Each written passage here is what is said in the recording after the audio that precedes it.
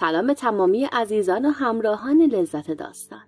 من شهرزاد هستم و امشب برای شما هفت داستان جذاب و شنیدنی آماده کردم.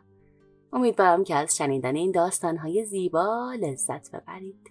داستان شیطان و پیرزن. روز پیرزنی به شیطان گفت کار تو چیه؟ شیطان گفت کار من اینه که دوتا برادر رو از هم بر می‌زنم. دوممو می‌ذارم تو چشم آدمی زاد تا صبح خواب بمونه و بلند نشه نماز صبح بخونه.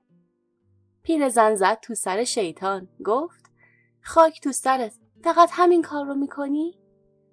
شیطان گفت دیگه کار از این بدتر که میونه دو تا برادر رو به هم بزنم؟ پیرزن خانه ای را که همان نزدیکی ها بود نشان داد و گفت این خونه چند طبقه است؟ شیطان گفت دو طبقه پیرزن گفت می‌خوای کاری کنم که صبح فردا جای این خونه سبزی بکارم؟ شیطان گفت تو چطور می‌کنی؟ پیرزن گفت فردا همین موقع بیا اینجا. با هم شرط بستن. پیرزن رفت طرف اون خونه. رفت پیش زن. این طرف آن طرف خانه را نگاه کرد. گفت بچه ای دورت نیست؟ زن گفت نه چهار پنج سال عروسی کردم اما بچه دار نشدیم. هرچه هم پیش دکترها میریم فایده نداره. پیرزن گفت خاک تو سرت که دکتر نمی‌خواد. زن گفت پس چه کنم؟ پیرزن گفت شب وقتی شوهرت خوابید دو تا تار مو از زیر گردنش با تیغ می‌بری. بعد زیر پات می‌ذاری بچه دار میشی. اما شوهرت نفهمه. یک استکان چای هم خورد و بلند شد رفت. پیرزن تو کوچه شوهر زن رو دید. گفت هوشیار باش زنت امشب می‌خواد بکشتت. مرد گفت برای چی؟ بین ما که اتفاقی نیفتاده. چطور همچین کاری بکنه؟ پیرزن گفت نمی‌دونم. خلاصه وقتی شام خوردند مرد گفت جامو بنداز می‌خوام بخوابم. اما تو فکر حرف پیرزن بود. شب خودش رو به خواب زد. وقتی که زن میومد پیشش خور و پف می‌کرد. اما وقتی ازش دور می‌شد چشمش رو باز می‌کرد. دید زنش یه تیغ آورد. مرد گفت اوفه اگه این تیغ رو بذاره زیر گردنم سرم بریده است. بذار من قبل از اون دست به کار بشم. خلاصه تبری برداشت و افتاد به جون زن. از اون طرف پیرزن پشت در گوش می‌گرفت. دوید طرف خانوادی زن و گفت شما خجالت نمی‌کشید؟ شوهر دخترتون داره میکشتش. گفتند برای چی؟ گفت نمی‌دونم. اینها با تبر و چماق دویدن طرف خونه دخترشون. پیرزن از اون طرف دوید طرف خانی اقوام مرد. گفت برای چی نشستید؟ مگه شما خواب هستید؟ بچهتون رو کشتن. گفتند کی؟ گفت فامیل زنش. گفتند این شیطون نیست؟ بقیه گفتند نه بابا یه پیر زنه. خلاصه اینا هم تبر و چماقی برداشتند و دویدند. وقتی رسیدند نفهمیدند بلا نسبت سر کی تو کجای کی هست. می‌زنن سر هم. پیرزن دوید طرف پاسگاه. پیرزن گفت مگه شما پاسگاه نیستید؟ تو خونه فلانی گنجی پیدا شده. ده پونزده نفر دارن همو می‌زنن. از پاسگاه اومدن نگاه کردن دیدن ها درسته دعواییه. تلفن زدن به شهردار. گفتند دو سه تا لودر بیارین. خلاصه تا صبح دو سه بغل تا زمین شکافتند. نه گنجی پیدا شد نه چیزی. صبح که شد پیرزن سر جای دیروزی منتظر شیطان ایستاد. حالا شیطون اومد. پیرزن گفت بیا کوخونه دیروزی. شیطان گفت اشتباه اومدم توی این خیابون نیست. پیرزن گفت همینه. شیطان گفت من غلط بکنم. من هیچ وقت نمی‌تونم تا صبح خونه دو طبقه رو صاف کنم. که بتونم جاش سبزی بکارم حکایت آسیابان پیر سالها پیش در آبادی و روستایی دور آسیابانی زندگی می کرد که دیدنی های این دنیای فانی را دیده بود سرد و گرم روزگار را چشیده بود آسیابان پیری که عمری را با تلاش و زحمت و به دست آوردن نان حلال گذرانده بود روزی فرزندانش را که سه پسر جوان مثل سه شاخ شمشاد بودند دور خود جمع کرد گفت عزیزان و نور دیدگان من دنیا با همه خوشی ها و ناخوشی هایش می گذرد. همانطور که شما هم شنیده اید مرگ شطوری است که در هر خانه ای می خوابد. پس بدانید و آگاه باشید که آفتاب عمر من هم لب بام رسیده. همین روز هاست که کوله بار کارهایم را بردوش بکشم و بروم. راستش را بخواهید از رفتن و دل کندن از این دنیا اصلا نگرانی ندارم. تنها دل واپسیم این آسیاب است. نمی‌دانم چه می شود و چه بر سرش می آید پسران آسیابان با شنیدن این حرف پدر هر سه گفتند. پدر اینکه نگرانی ندارد. ما هر طور شده چرخهای این آسیاب را میچرخانیم. نمی‌گذاریم کار مردم زمین بماند. آسیابان مثل همه پدرها از روی مهر نگاهی به فرزندانش انداخت. گفت از خدا پنهان نیست از شما هم پنهان نباشد. دو صد گفته چون نیم کردار نیست. از حرف تا عمل زمین تا آسمان راه است. من باید مطمئن شوم که واقعا شما آنطور که باید و شاید از عهده این کار برمیایید. اگر هر سه شما توانستید چرخهای این آسیاب را بچرخانید که چه بهتر. وگرنه یک نفر که شایسته تر از بقیه است باید صاحب اختیار کار این آسیاب بشود. چون اگر این آسیاب کار نکند هم شما گرسنه میمانید هم مردم از زندگی میمانند. حرف آسیابان پیر که به اینجا رسید هر سه پسر او با صدای بلند گفتند پدر من شایسته ترم من شایسته ترم. آسیابان پیر آنها را آرام کرد گفت خب عقل حکم می کند که من بدون دلیل حرف هیچ یک از شما را قبول نکنم. البته رد هم نکنم. بهترین کار این است که من شما را امتحان کنم تا معلوم بشود که چه کسی بهتر از بقیه می‌تواند چرخهای این آسیاب را بچرخاند. اما بدانید که من دوست دارم هر سه شما از این امتحان سربلند بیرون بیایید. پسران آسیابان با شنیدن اسم امتحان با شور و شوق آمادگی خودشان را اعلام کردند. آسیابان پیر دستی به زانو گرفت و از جا بلند شد. رفت سراغ گنجهی در اتاقش. در یکی از گنجه ها را باز کرد و رو به پسرانش کرد و گفت توی این گنجه سه کیسه گردو هست. آنها را بردارید تا بقیه کار را برایتان بگویم. هر سه جوان زود رفتند. هر کدام یک کیسه گردو برداشتند. البته کیسه هایی که خیلی هم سنگین نبود. بعد آسیابان به اولاغ هایی که در طویله داشتند اشاره کرد. گفت حالا بروید آن اولاغ ها را آماده سفر به شهر کنید. زاد و توشه هم برای سفر بردارید. پسران آسیابان در حالی که از این کارهای پدرشان هیچ سر در نمی آوردند زود دست به کار شدند. زاد و توشه برداشتند و آنها را بار ها گذاشتند. جلوی در آسیاب آماده ایستادند. آسیابان اسا زنان جلوی در رفت. پیش پسرانش ایستاد و گفت خب فرزندان دلبندم امتحان شما از الان شروع می شود همین حالا به راه می افتید و به شهر می روید امیدوارم که به سلامت بروید و به سلامت هم برگردید.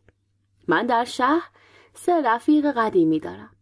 هر یک از شما باید پیش یکی از رفقای من برود. پیغام مرا برساند و از او حلالیت بطلبد.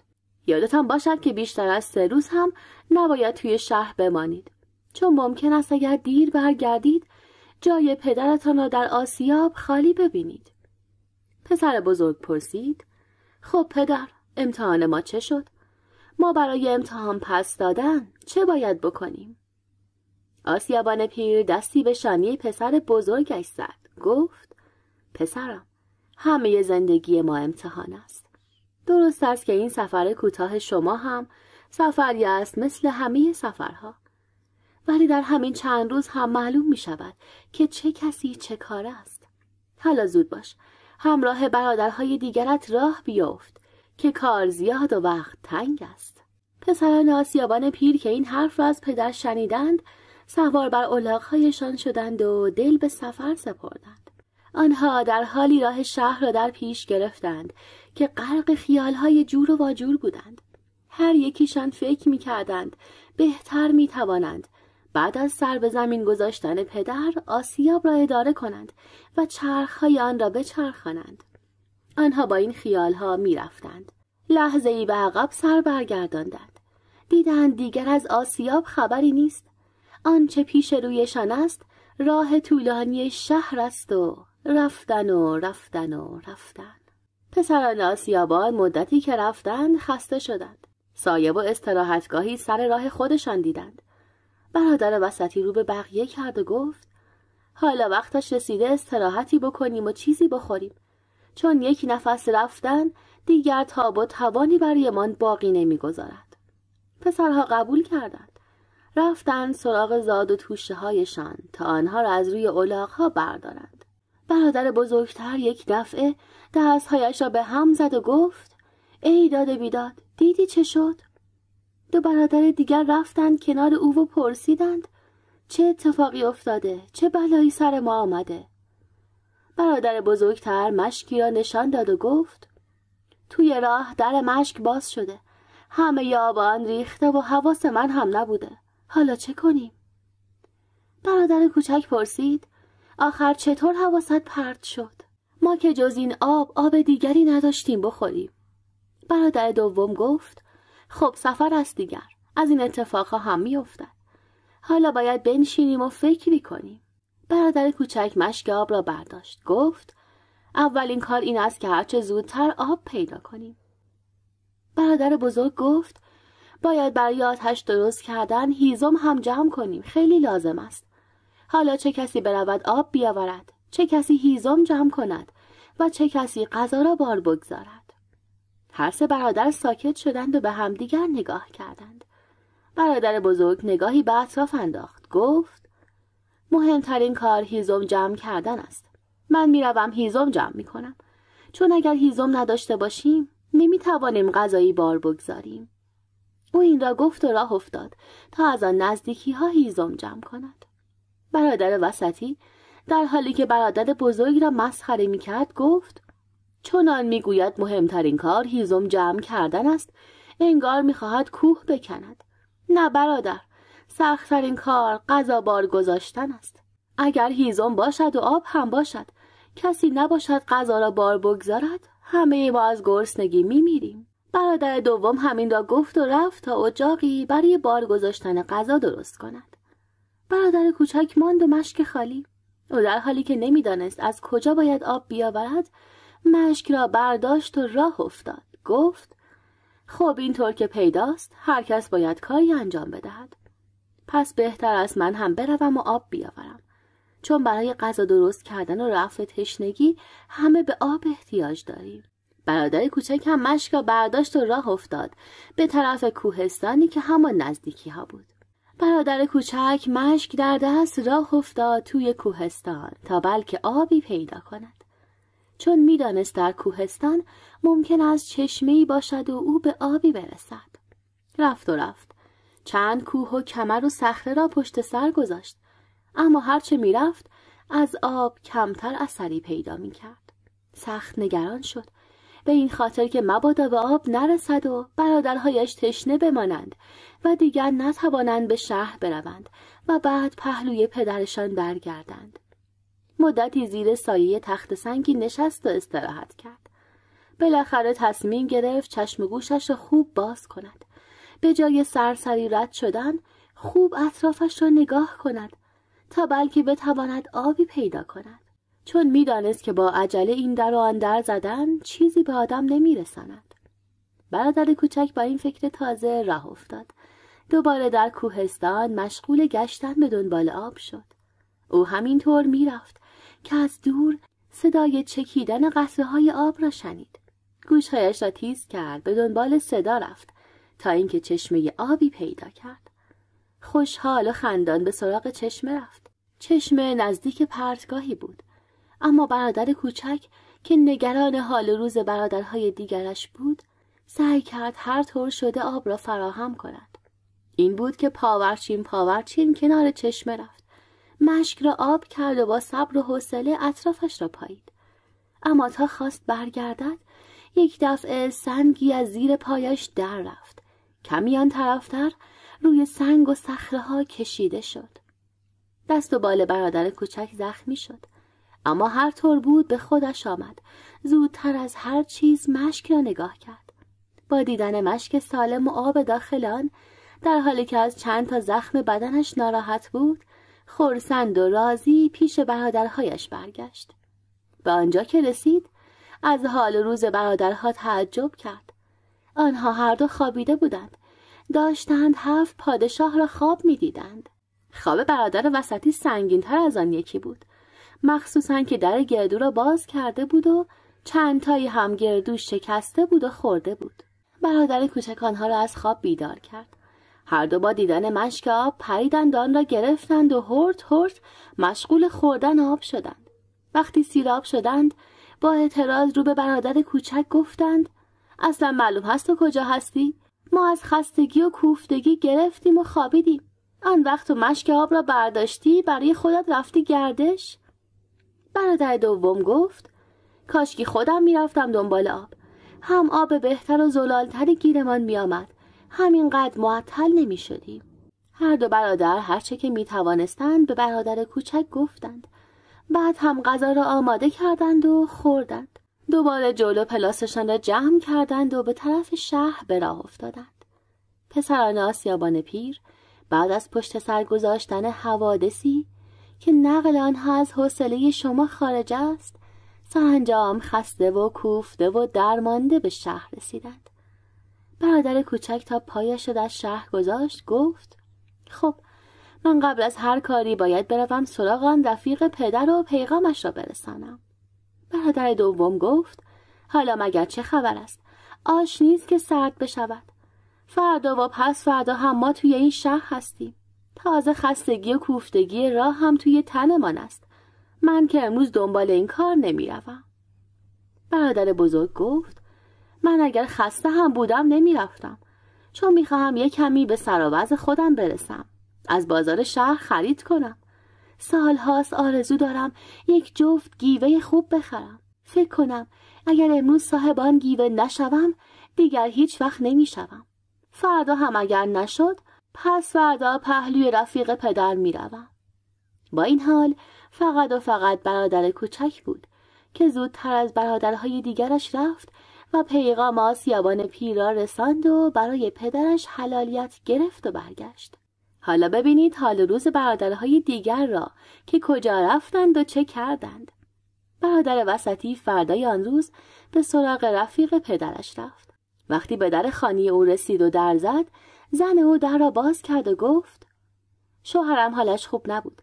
حکیم نسخه ای داده بود او رفت عطاری تا دارو بگیرد اگر تا ظهر برگردی حتما او را می‌بینی برادر دوم که حوصله زیادی نداشت و کم صبر و عجول بود گفت راستش من در شهر کار زیادی دارم.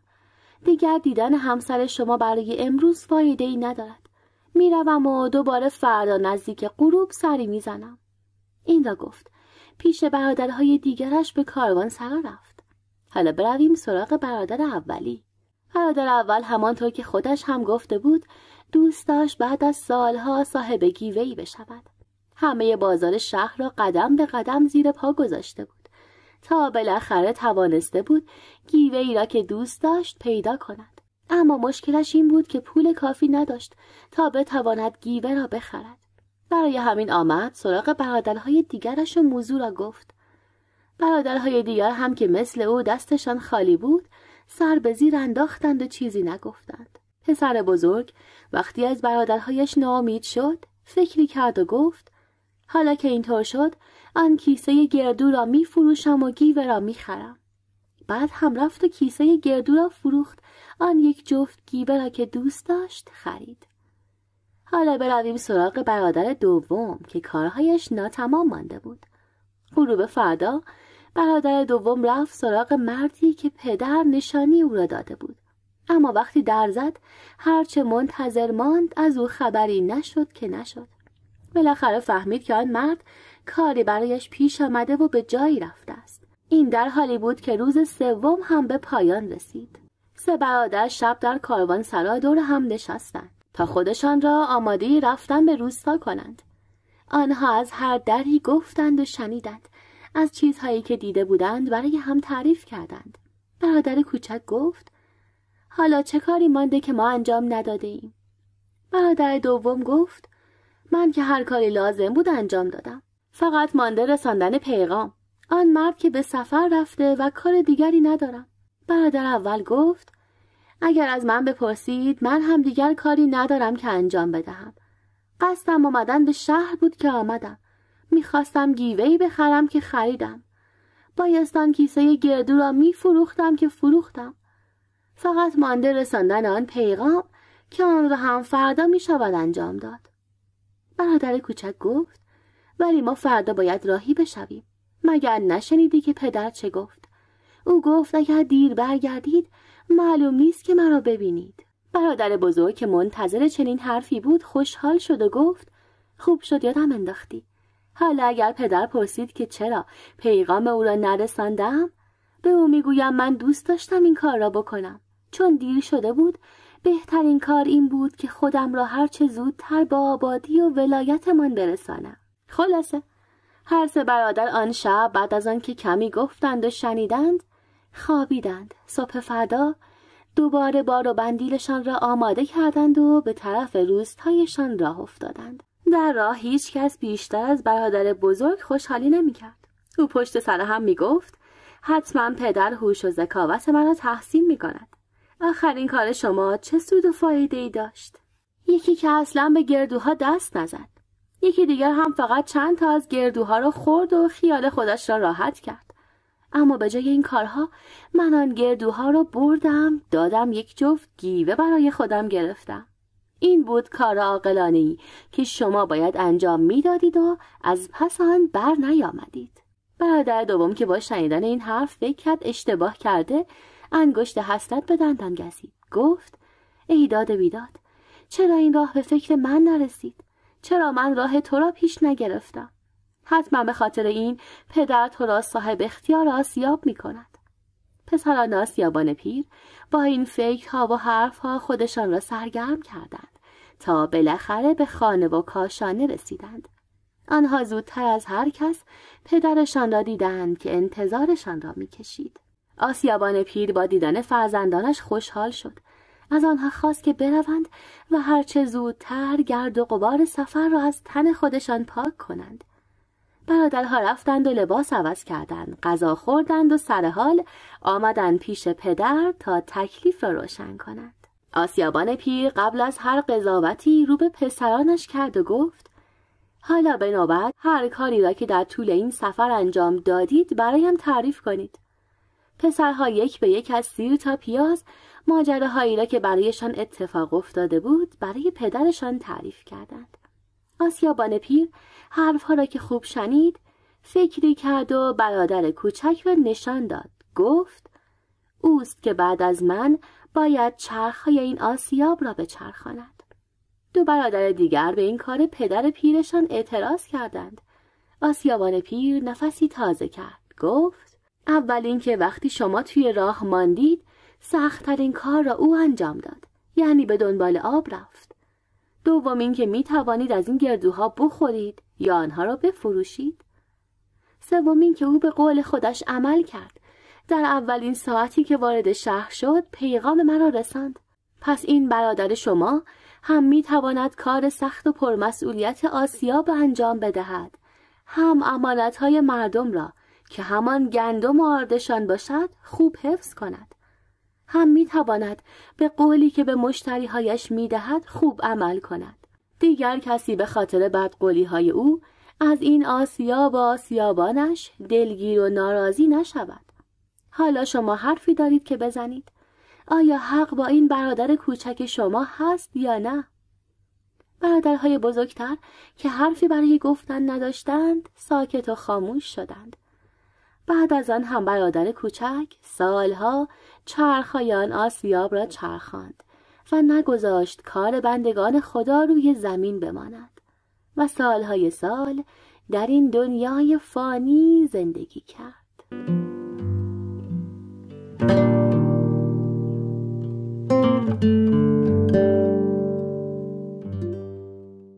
حکایت بعدی حکایت دو سیاد و یک پرنده است. سالها پیش و در روزگاران قدیم که رسم شکار و شکار رفتن بیش از دوره و زمانی ما رونق و رواج داشت دو سیاد دل به صحرا سپردند تا پرنده و چرندهی شکار کنند و از این راه روزیشان را به دست بیاورند. آنها اسباب و وسایل شکار را آماده کردند تا اگر پرنده ای را دیدند به دام بیاندازند یا چرنده ای را دیدند به تیر ببندند. رفتند و رفتند تا به چمنزاری رسیدند.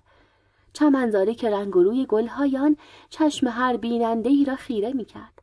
آواز و چهچهه پرندگانش دل را پر از شادی می‌کرد. سیاد اول گفت خوب کمی استراحت کنیم آبی به سر رویمان بزنیم که اینجا همان جایی است که مدتها در انتظارش بودیم و باید زیاد شکار کنیم. سیاد دوم که آدم پخته تری بود و توجه بیشتری به کار و حرفش داشت گفت نه رفیق طمع ورزیدن کار درستی نیست. بیا و از آنچه تو را به درد سر میاندازد بگذر فردا را چه کسی دیده؟ شاید آمدیم و پرنده های بهتری به طورمان خورد. فعلا همین امروز هم. هرچرا که بی دغدغه و گرفتاری به دام انداختیم بگیریم و برویم پی کار و زندگیمان تا بعد ببینیم چه پیش میآید. بعد از این دو سیاد در آن چمنزاری که وصفش را شنیدید دامی پهن کردند دانه ای پاشیدند و منتظر ماندند تا پرنده ای بیاید به هوای خوردن دانه در دام بیفتد دو سیاد مدتی نشستند کم کم خسته شدند و دیگر داشت خوابشان می برد. دیدند پرنده خوش پر و بالی به دام نزدیک شد. قصد دارد از دانی که سر راهش ریختند بخورد. هر دو سیاد نفسهایشان را در سینه حبس کردند. چهار چشمی به دانه و پرنده خیره شدند. بالاخره اتفاقی که نباید افتاد. پرنده مغرور و بیچاره که چشم عقلش با دیدن چند دانه کور شده بود آمد و مشغول خوردن دانه ها شد. سیاد اول ریسمان دام را کشید و پرنده بیچاره را درمانده و گرفتار کرد. بعد از این ماجرا هر دو سیاد فریادی از شادی کشیدند. سراغ دام که حالا پرنده گرفتار در آن داشت بال و پر می‌زد رفتند و رشته های تور دام را از پاهای پرنده باز کردند. آن را گرفتار در قفس انداختند. تا زیاد دیر نشده این را هم بگویم. آن دو سیاد ساعتی معطل شدند تا توانستند آن پرنده خوش پروبال را به دام بیاندازند. این بود که وقتی به خودشان آمدند دیدند که عصر شده و تا غروب خورشید دیگر وقت زیادی باقی نمانده. و همین خاطر سیاد دوم بار و بندیلش را بست. در خورجین اسبش گذاشت. سیاد اول که هنوز دوست داشت در آن صحرا و دشت بماند و باز هم از آن پرنده های رنگین پروبال شکار کند افسار اسب رفیقش را گرفت. گفت کجا؟ تازه خورشید اقبال ما طلوع کرده. آن وقت تو زین و یراق کردی می‌خواهی راه بیفتی؟ سیاد دوم گفت قسمت و روزی ما همین بوده امروز به دست آوردیم.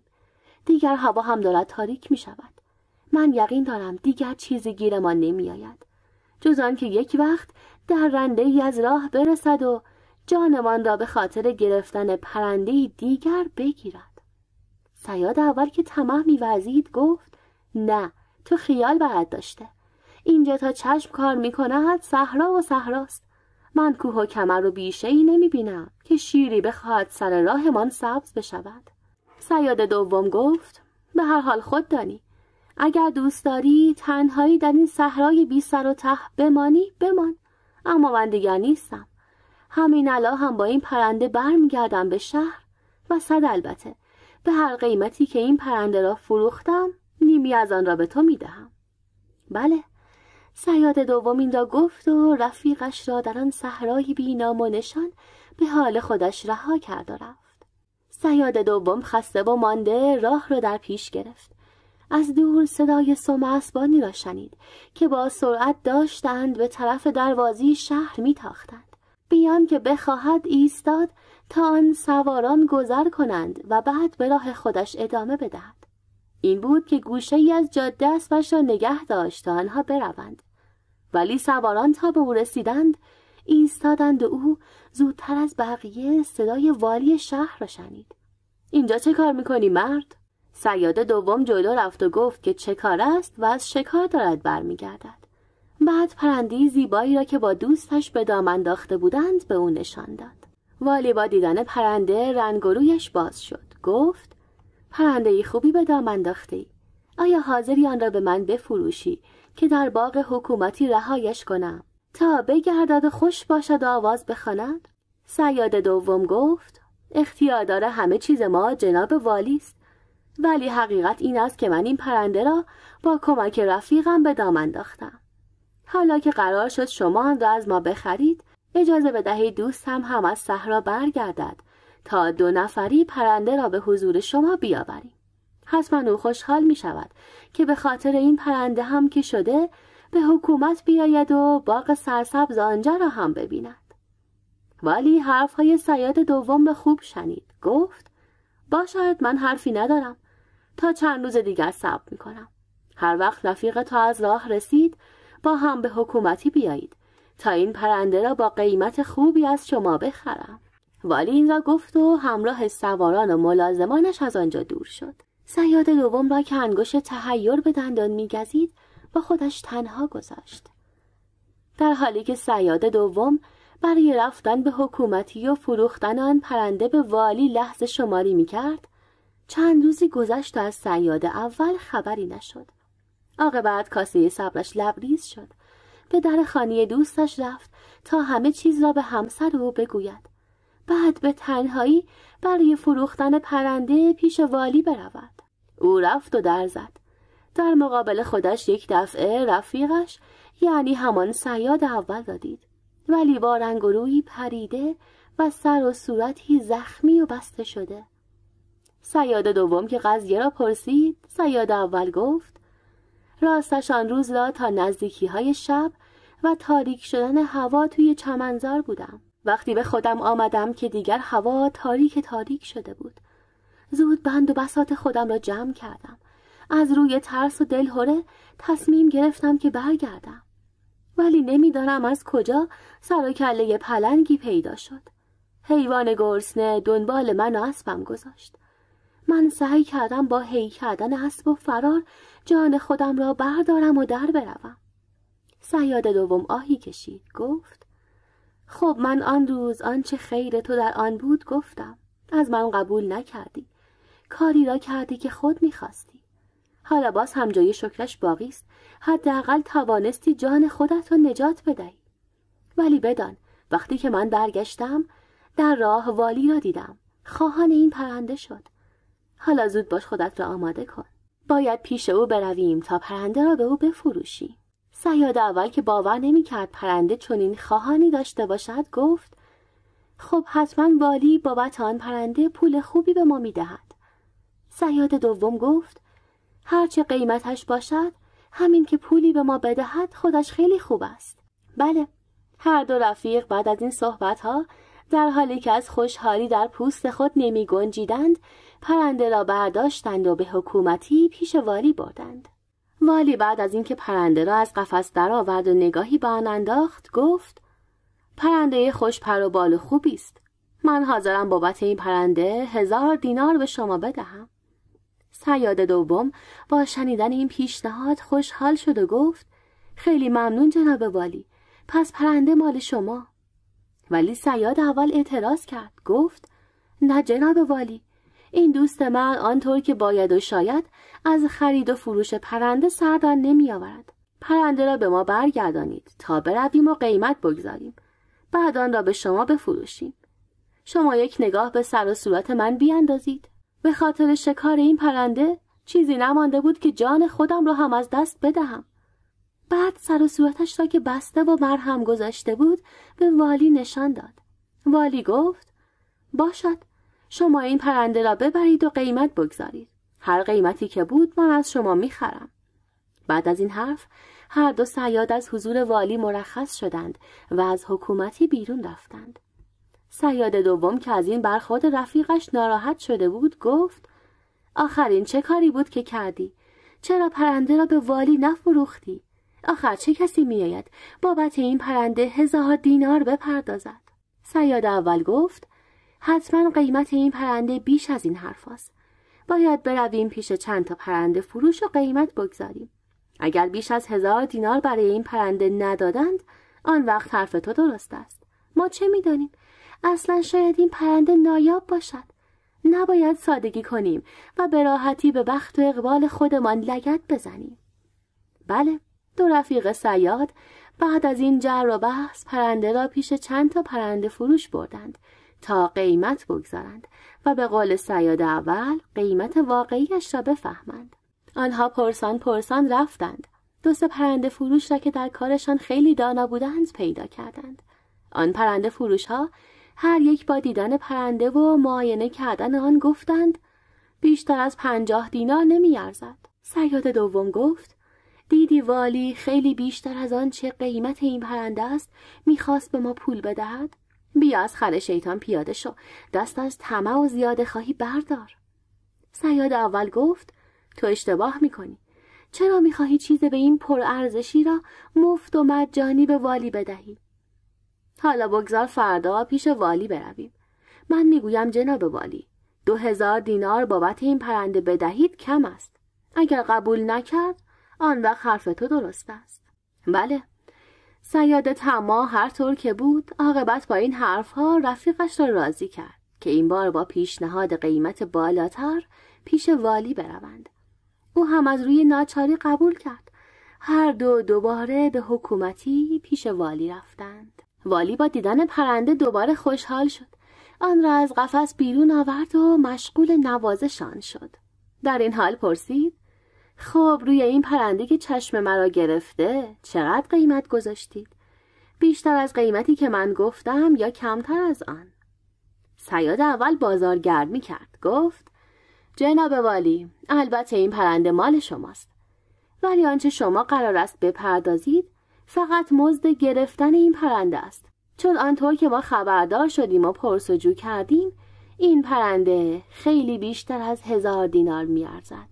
حالا خود دانید والی گفت باشد من هزار دینار دیگر هم به مبلغی که قبلا گفتم اضافه می کنم. فکر می کنم دو هزار دینار برای این پرنده کافی باشد. سیاد دوم زود گفت خیلی خوب است جناب والی. این مبلغ از سرمان هم زیاد است. حالا زود پول این پرنده ناقابل را بپردازید که ما دوست نداریم بیشتر از این مزاحم بشویم. ولی رفیق و میان حرفش پرید. گفت لطف والی از سر ما کم نشود. ولی این پرنده نایاب خیلی بیشتر از این حرفها میارزد.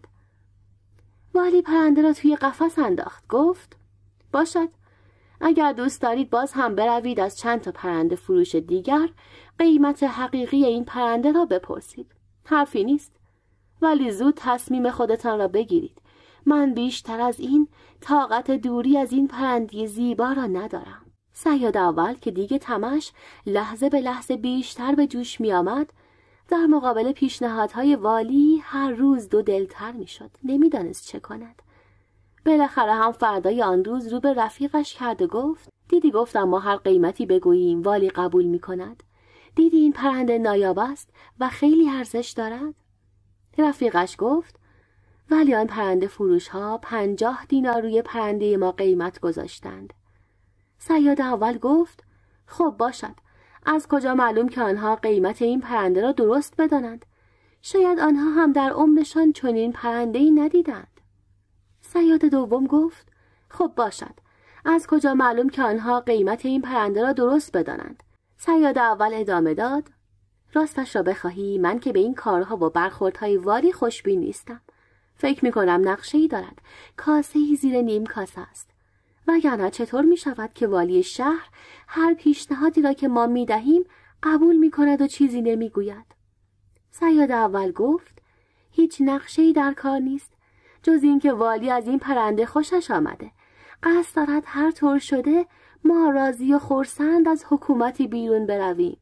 تا اگر دوباره پرنده نایابی را سید کردیم برایش ببریم. سیاد اولین را گفت و راه افتاد به طرف دکان گوهر فروشی رفیقش پرسید کجا داری می‌روی سیاد اول گفت با این پولی که والی قرار است بابت آن پرنده به ما بدهد و از زندگی ما از این رو به آن رو می شود. حالا هم دارم می‌روم به گوهر فروشی سفارش بدهم تا نگین پر ارزشی برای درست کردن یک انگشتری خیلی درشت برای من تهیه کند. سیاد دوم گفت ای بابا من که اصلا از کارهای تو سر در نمیآورم. حالا که نه به بار است نه به دار است. تو برای چه می‌خواهی نگین انگشتری سفارش بدهی؟ ولی او که گوشش به حرفهای حسابی رفیقش بدهکار نبود. رفت و مبلغی را به عنوان بیانه پرداخت و بعد به خانه رفت. قفس پرنده را برداشت و با هم راه افتادند به طرف حکومتی. آنها رفتند و در تالار حکومتی به حضور والی رسیدند. این بار هم والی با خوشرویی با آنها برخورد کرد. بلند بلند خندید و با ایشان از پرنده ها و سید و سیادی حرف ها زد. بالاخره کار گفتن و خندیدن که با آخر رسید گفت خب از هرچه بگذریم سخن دوست خوشتر است. عاقبت شما توانستید برای پرندهی که من اینقدر آن را دوست دارم قیمتی تعیین کنید؟ سیاد تما گفت جناب والی من فهمیدم که این پرنده پنج هزار دینار میارزد. ولی فردا یک نفر که این پرنده ها را خیلی خوب می‌شناسد قرار شده دیگر قیمت قطعی آن را به ما بگوید و برای همیشه خیال ما و جناب والی را راحت کند. والی با شنیدن این حرف کمی ساکت شد. بعد هم مثل دفعه قبل بلند بلند خندید. وقتی از خندیدن خسته شد گفت باشد من فردا هم صبر می‌کنم. ولی دیگر دوست ندارم بیشتر از این معطل بشوم. سیاد اول گفت باشد قربان فردا دیگر این پرنده را تقدیم شما می‌کنیم. آن روز هم به سرعت برق و باد گذشت. دو سیاد با پرنده به حکومتی رفتند و باز هم با برخورد خوب والی روبرو شدند. با آنها گفت و خندید. بعد از این قضایا والی رو با آن دو سیاد کرد و گفت قیمت این پرنده نایاب معلوم شد. حالا شما حاضرید پنج هزار دینار بگیرید و این پرنده را به من بسپارید. که سیاد اول نگذاشت و نه برداشت زود گفت ده هزار دینار. جناب والی ده هزار دینار قیمت این پرنده است. والی لحظه ساکت شد گفت باشد باشد قیمت خوبی گفتید. ولی برای اینکه شما ضرر نکنید من حاضرم به جای ده هزار دینار دوازده هزار دینار به شما بدهم. حالا دیگر راضی شدید. حالا دیگر راضی شدید. سیاد دوم گفت جناب والی ولی این قیمت خیلی زیاد است. اما رفیقش گفت بله جناب والی اما اگر بیش از قیمتی هم که گفتید به ما بدهید خیلی خوشحالمان کرده اید والی این حرف را که شنید بلند خندید و خزانه دار را صدا کرد. خزانه دار جلو آمد و دست به سینه ایستاد. والی سیاد تمام را نشان داد گفت خزانه دار همین الان خزانه حکومتی را خالی کن. و هرچه در آن است جلوی این مرد بریز. خزانه دار که از موضوع سر در نمی آورد گفت جناب والی موضوع از چه قرار است؟ مگر چه خبر شده؟ چرا من باید خزانه حکومتی را در اختیار این مرد بگذارم؟ والی پرنده را پرواز داد و گفت به خاطر این پرنده آخر این پرنده خیلی با ارزش و گرانبهاست. هرچه که من برای آن بدهم کم دادم. با گفتن این حرف چنان خندید که چیزی نمانده بود از روی تخت پایین بیفتد. بله با این حرف والی سیاد تمام فهمید که چه کلاهی سر خودش گذاشته. چون در واقع والی با صدا کردن خزانه دار قصد مسخره کردن او را داشت. بالاخره والی از خندیدن که خسته شد رو به آنها کرد و گفت خب پس این پرنده خیلی ارزش دارد ها؟ شما فکر کردید من از قیمت این پرنده بیخبرم؟ سیاد دوم گفت ولی جناب والی من که همان اول به هزار دینار شما راضی بودم. والی سیاد اول را نشان داد گفت ولی این رفیق تو تو را هم از آن محروم کرد. من همان روزهای اول فهمیدم که این مرد آنقدر طماع و حریص است که هر قیمتی را پیشنهاد کنم باز هم بیشتر می‌خواهد. این بود که تصمیم گرفتم مدتی را با این حال و روز بگذرانم و تفریح کنم. چون چند روزی هم بود که به خاطر مسئله نگران و ناراحت بودم. حالا خوشحالم. هم صاحب پرندهی شدم و هم پنجاه دینار بابت آن نپرداختم. همین که برای مدتی اسباب شادی و سرور من فراهم شد. سیاد تما گفت جناب والی واقعا هیچ پولی نمی‌خواهید بابت این پرنده به ما بدهید؟ والی گفت تنها لطفی که می‌توانم در حق شما بکنم این است که از مجازات شما چشم بپوشم. آن هم به خاطر شادی و نشاطی که برای من ایجاد کردید. حالا تا دیر نشده زود حکومتی را ترک کنید. اگر دیر به جنبید دستور مجازات شما را می دهم. کار که به اینجا کشید و قصه ما که به اینجا رسید. سیاد تما دومش را روی کولش گذاشت و دست از تر از حکومتی بیرون رفت. وقتی داشتن از آنجا بیرون می‌رفتند شریکش از او پرسید راستی رفیق بالاخره آن پرنده نایاب را به والی چند فروختی؟ سیاد تما که اگر کارت می‌زدی خونش در نمیآمد گفت به همان قیمتی که والی خرید. روایت سه برادر از سری قصه های ایاران هست. سه برادر بودند که از پدرشان فقط یک گاو باقی مانده بود. روزی اوایل فصل زمستان برادر بزرگ گاو را جلو انداخت تا به بازار ببرد و بفروشد. میان راه به باغ وزیر رسید. وزیر به او گفت برو توی باغ هرچه می‌خواهی میوه بخور. بعد برگرد پول گاوت را بگیر و برو. پسر رفت قضی میوه خورد و برگشت. وزیر گفت مگر ندیدی دختران پادشاه توی باغ دارند بازی می‌کنند؟ تو هم برو بازی کن. اگر بردی یا باختی برگرد و پول گاوت را بگیر و برو. پسر رفت توی باغ و وارد بازی شد. بازی را باخت اما چون پولی نداشت که به دختران پادشاه بدهد آنها هم سرش را بریدند و از درختی آویزان کردند. برادر وسطی راه افتاد آمد دنبال برادر بزرگه. رسید به باغ وزیر. او هم به دعوت وزیر وارد باغ شد و همان بلایی که به سر برادر بزرگه آمده بود به سر او هم آمد. برادر کوچک دید آنها پیدایشان نشد. راه افتاد دنبالشان. به باغ وزیر رسید. دید گاوشان آنجاست. وزیر او را به باغ دعوت کرد. پسر وارد بازی دختران پادشاه شد.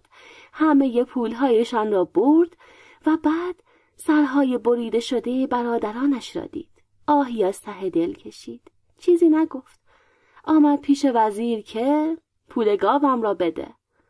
وزیر او را به خانهش برد تا به او پول بدهد. همین که وزیر وارد خانه شد پیرزنی که دم در خانه وزیر نشسته بود دست پسر را کشید و به خانه خودش برد.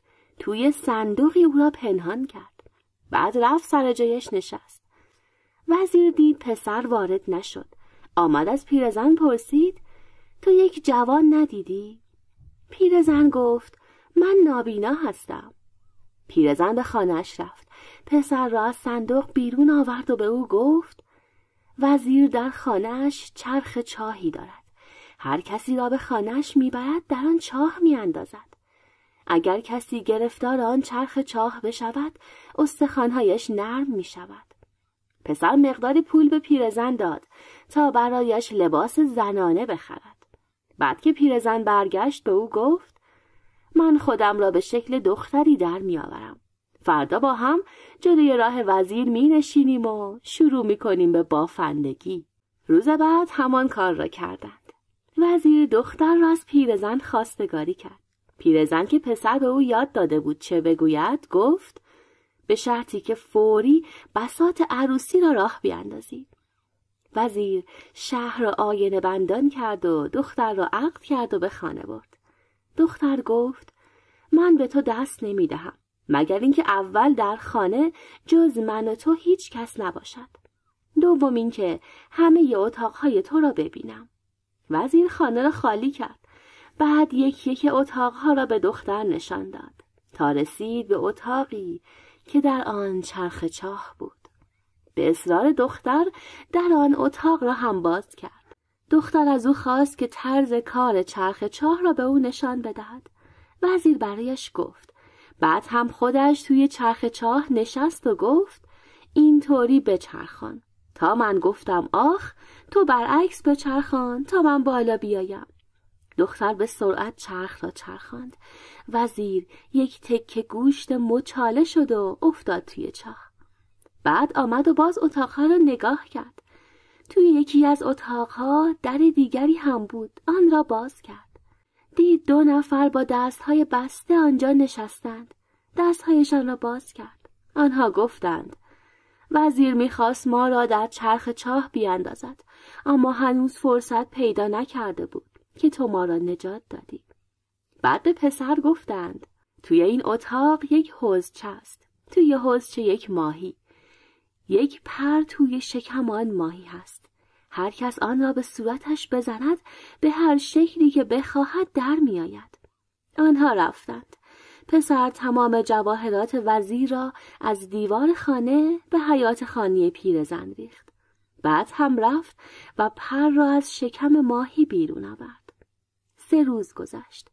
پادشاه دید از وزیر خبری نیست. ادعی را دنبالش فرستاد. آمدند هرچه در زدند کسی در را باز نکرد. پادشاه دستور داد در را بشکنند. وارد که شدند هرچه گشتند وزیر را پیدا نکردند. یک وقت صدای ناله ای شنیدند. پی صدا را گرفتند و وزیر را که همه استخوانهایش نرم شده بود از چاه بیرون کشیدند. پادشاه طبیب مخصوص خودش را برای معالجه وزیر به خانهاش فرستاد. وقتی حال وزیر کمی خوب شد پادشاه دستور داد همه مردم شهر از جلوی وزیر رد بشوند تا وزیران پسر را ببیند و معرفی کند. پسر تا چنین دید پر را به صورتش زد و به شکل سلمانی درآمد. رفت بالای سر وزیر گفت جناب وزیر اجازه بدهید تا سرتان را اصلاح کنم. وزیر گفت اصلاح کن. پسر تیغ سلمانی را چنان به وسط سر وزیر زد که پوست سرش شکاف خورد و استخوان سر پیدا شد. دو طرف صورتش را هم برید چمدانش را برداشت و فرار کرد. خبر به پادشاه بردند. پادشاه دستور داد تخت وزیر را به دربار ببرند. بعد هم گفت همه سلمانی های شهر را جمع کنید تا وزیر آنها را ببیند و زارب را بشناسد. این کار هم نتیجه ای نداد. چند روز بعد پسر پر را به صورتش زد به شکل طبیبی درآمد. رفت به بالین وزیر. فراش هایی را که دور وزیر بودند بیرون کرد. وقتی اتاق خلوت شد روی زخم های وزیر نمک پاشید و فرار کرد. پادشاه دستور داد وزیر را به بالای قصر ببرند و حکیم باشی ها هم همیشه دور برش باشند. چند روزی گذشت. پسر باز پر را به صورتش زد و به شکل پیرمردی درآمد.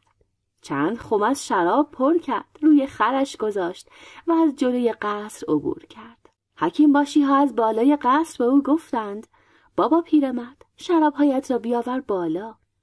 فراش ها آمدند و پیرمرد را بالا بردند. پیرمرد شرابها را به کسانی که بالای قصب بودند خوراند. آنقدر خوردند که بیهوش شدند. پسر باز وزیر را زد و ناکار کرد و رفت به خانش بعد از چند ساعت حکیمان حالشان کمی جا آمد و شروع کردند به مداوای وزیر. ده روز گذشت و حال وزیر بهتر شد. پادشاه دستور داد چند دیگ حلیم درست کنند و بین مردم پخش کنند تا وزیر یکی یکی مردم شهر را ببیند. پسر یک اسب تندرو به یک نفر داد. مقداری هم پول به او داد و گفت عصر برو جلوی پادشاه. بگو همه این بلاها را من سر وزیر آوردم بعد هم مثل باد فرار کن. وقتی آن مرد رفت و حرفی که پسر به او یاد داده بود به پادشاه گفت پادشاه فریاد زد. او را بگیرید. مرد با اسبش تاخت زد و فرار کرد.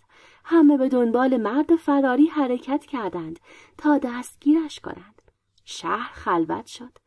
پسر آمد و وزیر را انداخت توی دیگ حلیم آخری و رفت دنبال بقیه. وقتی کسی نتوانست مرد را دستگیر کند همه برگشتند. سر سفره حلیم نشستند. نوبت پخش کردن حلیم دیگ آخری بود. که دیدند وزیر توی آن افتاده و از بین رفته. چند روزی گذشت. پادشاه دستور داد یک شتر را با بار نقره و جواهر در شهر راه ببرد. پیش خودش فکر کرد هر کس این شتر را بدزدد قاتل وزیر هموست. پسر در یک فرصت مناسب شتر را به خانش کشاند. جواهرات را برداشت و شتر را کشت. خبر به پادشاه رسید که شتر دزدیده شده. پادشاه گفت هر کس گوشت شتر بیاورد به او جایزه می‌دهیم. پیرزنی خانه به خانه میگشت تا گوشت شتر پیدا کند. رسید به در خانه پسر. از پیرزن صاحب خانه قدری گوشت شتر خواست. پیرزن از همه جا خبر رفت و کمی از ران شتر برید و به او داد. زن گوشت را گرفت. داشت با خوشحالی می‌رفت که پسر از راه رسید. او را دید به خانهاش برد. گوشت را از او گرفت. نوک زبانش را برید. پیرزن گریان و نالان راه افتاد. دست خونیش را به در خانه ها می‌زد تا محل را گم نکند. رفت تا رسید به بارگاه پادشاه. چند تا فراش دنبالش آمدند. چند خانه ای که او علامت زده بود گشتند و چیزی نیافتند. خسته شدند و لگدی به پیرزن زدند. بعد از چند روز باز پادشاه برای پیدا کردن قاتل وزیر دستور داد صندوقی پر از جواهرات در وسط شهر بیاویزند. این شهر دو تا مکتب خانه داشت. یکی این سر شهر یکی همان سر شهر. پسر رفت پیش ملای مکتب و گفت ملا و بچه های آن مکتب می‌خواهند بیایند و شما را بزنند. بهتر از خودتان را به وسط شهر برسانید. بعد رفت به ملای آن مکتب هم همی حرف را زد. شاگردان و ملاهای دو مکتب وسط شهر به هم رسیدند و زد و خوردشان شروع شد. مردم هم دخالت کردند و حسابی شلوغ شد. پسر هم از فرصت استفاده کرد. صندوق را دزدید و برد. دعوا که خوابید دیدند صندوق نیست. خبر به پادشاه بردند. پادشاه که دیگر به تنگ آمده بود گفت جار بزنید. هر کس که این کارها را کرده خودش را معرفی کند. در عوض دختر کوچکم را به او می‌دهم. پسر پیش پادشاه رفت و همه ماجرا را برای پادشاه تعریف کرد. پادشاه گفت من به یک شرط تو را میبخشم. به شهر حلب بروی و مرده پادشاه حلب را بیاوری. چون او گفته است این چه دزدی است که نمی‌توانی دستگیرش کنی. پسر ده روز مهلت گرفت و رفت. پسر سفارش داد که سینه بندی از صد تا زنگ که به گردن شطور میبندند درست کنند. وقتی آنچه می‌خواست درست شد حرکت کرد و به شهر حلب رفت. خبر دادند که پادشاه می‌خواهد به حمام برود. پسر رفت و جایی در حمام پنهان شد. پادشاه تنها به حمام آمد. هنوز لباسهایش را در نیاورده بود که پسر پرید و به ساق پای او چسبید. ناگهان زنگ ها به صدا در آمدند و حمام لرزید. پسر به پادشاه گفت من ازرائیل هستم آمدم جانت را بگیرم. فردا به اتفاق وزیرانت به سر چشمه‌ای که بیرون از شهر است بیا تا من جانت را بگیرم. وزیرانت از آنجا دور باشند. پادشاه حلب از ترس نفهمید آنچه دیده در خواب بوده یا بیداری. فردا با وزیرانش به سوی چشمه رفت. بعد به وزیرها دستور داد دور شوند. پسر هم خودش را پشت درختی پنهان کرده بود. وقتی وزیرها دور شدند پادشاه صدای زنگی شنید و از هوش رفت. پسر آمد و پادشاه را در قدیفه سفیدی پیچاند. داروی بیهوشی به او زد. بعد سوار بر اسب شد و به شهر خودش برگشت. وقتی به دربار رسید پادشاه از دیدن او خیلی خوشحال شد. به حکیمان دستور داد تا پادشاه شهر حلب را به هوش بیاورند. وقتی به هوش آمد گفت من کجا هستم؟ پادشاه گفت نترس تو در دربار من هستی. پادشاه شهر حلب گفت چه کسی این بلا را به سر من آورده؟ پادشاه گفت همان کسی که دم در ایستاده است. پادشاه شهر حلب دختر خودش را به عقد پسر درآورد و این یکی پادشاه هم او را وزیر خود کرد. داستان بعدی که می‌خوام براتون بخونم در گروه قصه های جن و پری هست. یکی بود یکی نبود. غیر از خدا هیچ کس نبود. پادشاهی بود که سه تا پسر داشت. موقع مرگ هر سه پسر را طلب کرد و با آنها وصیت نمود که ای بچه های من تنها چیزی که از شما می‌خواهم این است که بعد از مرگ من سه شب بالای قبر من نگهبانی بدهید. نگذارید من تنها باشم. بچه ها هم قبول کردند. در حالی که اشک در چشمهایشان نشسته بود قول دادند که این وصیت را به جا آورند.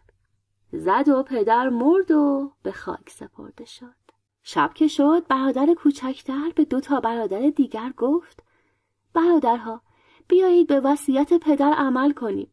شب اول برادر بزرگتر شب دوم برادر میانی و شب آخر هم من می‌روم سر مزار پدر میمانی. برادر بزرگ و برادر میانی این حرف را نپسندیدند. بین آنها بگو مگو شد. بالاخره با زور کتک برادر کوچکتر را به سر قبر فرستادند. او لاله و قرآنی را برداشت و به سر قبر پدر رفت. در کنار قبر گودی کند. در آن نشست و به قرآن خواندن مشغول شد.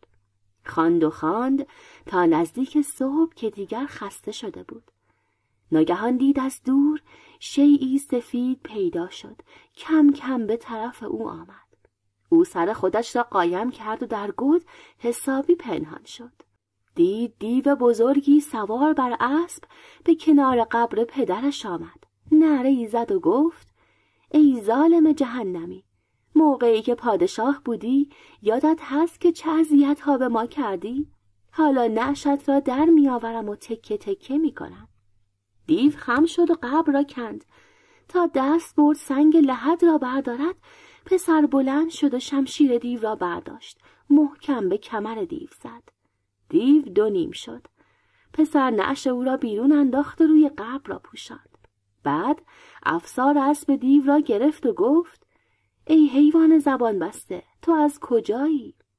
اسب زبان آمد. گفت ما سه تا خواهر هستیم. در بند سه برادر که یکی از آنها همین بود که کشتی. اگر بتوانی دو تا خواهر دیگر مرا نجات بدهی هر کاری که از دستم بر بیاید. و هر کاری که بخواهی برایت انجام خواهم داد. پسر گفت حالا تو را به طویله ببرم بهتر است. یا آزادت بگذارم. اسب گفت آزادم بگذار. اما قسمتی از یالهای مرا بچین و پیش خودت نگه دار. هر وقت مرا خواستی یکی از آنها را آتش بزن. من فورا حاضر می شوم. پسر قبول کرد و کمی از یال او را چید و اسب هم ناپدید شد. پسر هم به قصد بازگشت. باز شب شد. او پیش دو برادر رفت و گفت برادرها شب اول من رفتم. حالا نوبت یکی از شماست. ولی باز دو برادر او را زدند و مجبورش کردند که به سر مزار پدر برود. باز پسر لاله و قرآن را برداشت و به سر قبر پدر رفت. در همان گودال دیشبی ماند و قرآن خواند. نزدیک صبح دیو دیگری آمد همان جملات را گفت و سنگ قبر را برداشت. تا خواست سنگ لحد را بیرون بیاورد پسر به او حمله کرد و او را کشت و اسب را هم گرفت. اسب گفت اگر مرا آزاد کنی هر وقت خواستی به سراغت میآیم و هر کاری خواستی انجام می‌دهم. یک دست از یالهای مرا بچین و با خود ببر و موقع لزوم یک نخ را آتش بزن. من حاضر می‌شوم. پسر قبول کرد. کمی از یال او را چید و او را رها کرد و باز به قصر بازگشت. شب سوم هم همین عمل تکرار شد. برادر کوچک سخت از برادران بزرگ خود رنجید. راه قربت در پیش گرفت و به شهر دیگری رفت و شاگرد آشپز شد. روزی دید در شهر قوقایی است. از استادش پرسید مگر چه خبر شده؟ استادش به او گفت در این شهر رسم است. هر سال در سه روز سه نفر از زیباترین دختران را انتخاب می کنند. طی یک مسابقه اسب سواری به سه نفر جوان اسب سوار و چالاک که برنده بشوند می‌دهند. بعد استاد گفت تو هم بیا تماشا. پسر گفت ای استاد ما را چه کار به این دخترها استاد به راه افتاد و رفت پسر هم بعد از اینکه کوچه و بازار خلوت شد دکان را بست و در گوشه ای یک نخ از یال یکی از اسبها را آتش زد. در یک چشم به هم زدن اسب حاضر شد. از اسب طلب یک دست لباس فاخر و یک شمشیر و یک کمربند زرین کرد. اسب شیهی کشید و همه اینها روی زینش ظاهر شد. پسر لباس را به تن کرد و سوار شد. به میدان مسابقه رفت و با یک جولان از همه برد. دختر اولی را بعد ترک خود نشانید و رفت به خانه. کنی زیرا هم از اسب خواست و به خدمت او واداشت. بعد به دکان بازگشت و در دکان را باز کرد و نشست. بعد از مدتی استاد آمد. به او گفت پسر تو چرا نیامدی تماشا؟ قیامتی بود. جوانی دلیر با کمربند زرین و لباسی فاخر و شمشیر مسابقه را برد دختر را هم با خود برد. پسر گفت ای استاد خوش باشند به ما چه؟ روز دوم و روز سوم هم همان کار را کرد. سالها گذشت. روزی در دکان آشپزی نشسته بود. دید دو نفر غریب وارد شهر شدند. بی جا و بی مکان بودند و از این و آن کمک می‌خواستند. پسر خوب که دقت کرد دید برادرانش هستند. به استاد گفت این دو نفر را بیاور و با آنها گفتگو کن. ببین اهل کجا هستند. استاد آنها را صدا کرد. بعد برادر کوچک آرام آرام با آنها شناختی داد و از وضعیت آنها متأثر شد. بعد با آنها به راه افتاد. آنها در راه شرح حال خود را گفتند که چگونه پادشاهی از دست آنها رفته و آواره و بیچاره شدند. پسر گفت قصه نخورید. من دوباره پادشاهی را به شما بر میگردانم بعد به خانه پسر رفتند. سه دختر حاضر بودند. سه یال از اسبها را پسر آتش زد و اسبها حاضر شدند. همگی بر اسبها نشستند و در یک چشم به هم زدن خود را در ولایت خودشان دیدند. طولی نکشید که باز پادشاهی با آنها بازگشت. با سه دختر ازدواج کردند. و برادران بزرگتر برادر کوچک را به پادشاهی برگزیدند. داستان بعدی که می‌خوام براتون بخونم اسمش هست سه برادر که شاگرد اموشون شدند. دو تا برادر تاجر بودند. یکی از آنها خیلی مال و ثروت داشت اما دیگری نه. آنکه مال و ثروتی نداشت مریض شد. سه تا پسرهاش رو صدا زد و گفت اگر من مردم شده بروید و خانه شاگردی مردم را بکنید بروید. اما خانه شاگردی عمویتان را نکنید. مبادا گولش را بخورید. تاجر از دنیا رفت. برادر کوچک رفت آهنگری. وسطی رفت خیاطی بزرگه رفت پیش امویش امو گفت اگر مدت یک سال هر کاری گفتم کردی و هرچه گفتم گوش دادی دخترم را به حقدت در میآورم. و الا تو را می‌کشم پسر نوشته ای به امو داد و نوشته ای هم گرفت. برادر بزرگه همه کاری برای امو انجام می‌داد ده ماه گذشت. روزی امو پانزده تا گوسفند تحویل او داد. یک دانه نان و یک کاسه ماست هم داد به دستش. گفت این نان و قاطقت. اما از که آمدی نه روی ماست باید دست خورده باشد نه دور نان پاره شده باشد. پسر راه افتاد. ظهر گرسنه شد نان را خورد و گفت هرچه می‌خواهد بشود بشود. از که عمودید نان خورده شده خواست پوست سر پسر را بکند که زن امو وساطت کرد که این بار او را ببخشد. فردا باز نان و ماست را به دست پسر داد. شرط را یادآوری کرد. پسر آن روز هم نان و ماست را خورد و برگشت. امو همو را برد و کشت. وقتی خبر به برادرهای دیگر رسید برادر وسطی برای اینکه تقاس برادرش را بگیرد به شاگردی امو درآمد. اما هر روز اذیتشان می‌کرد. تا شد سر ده ماه.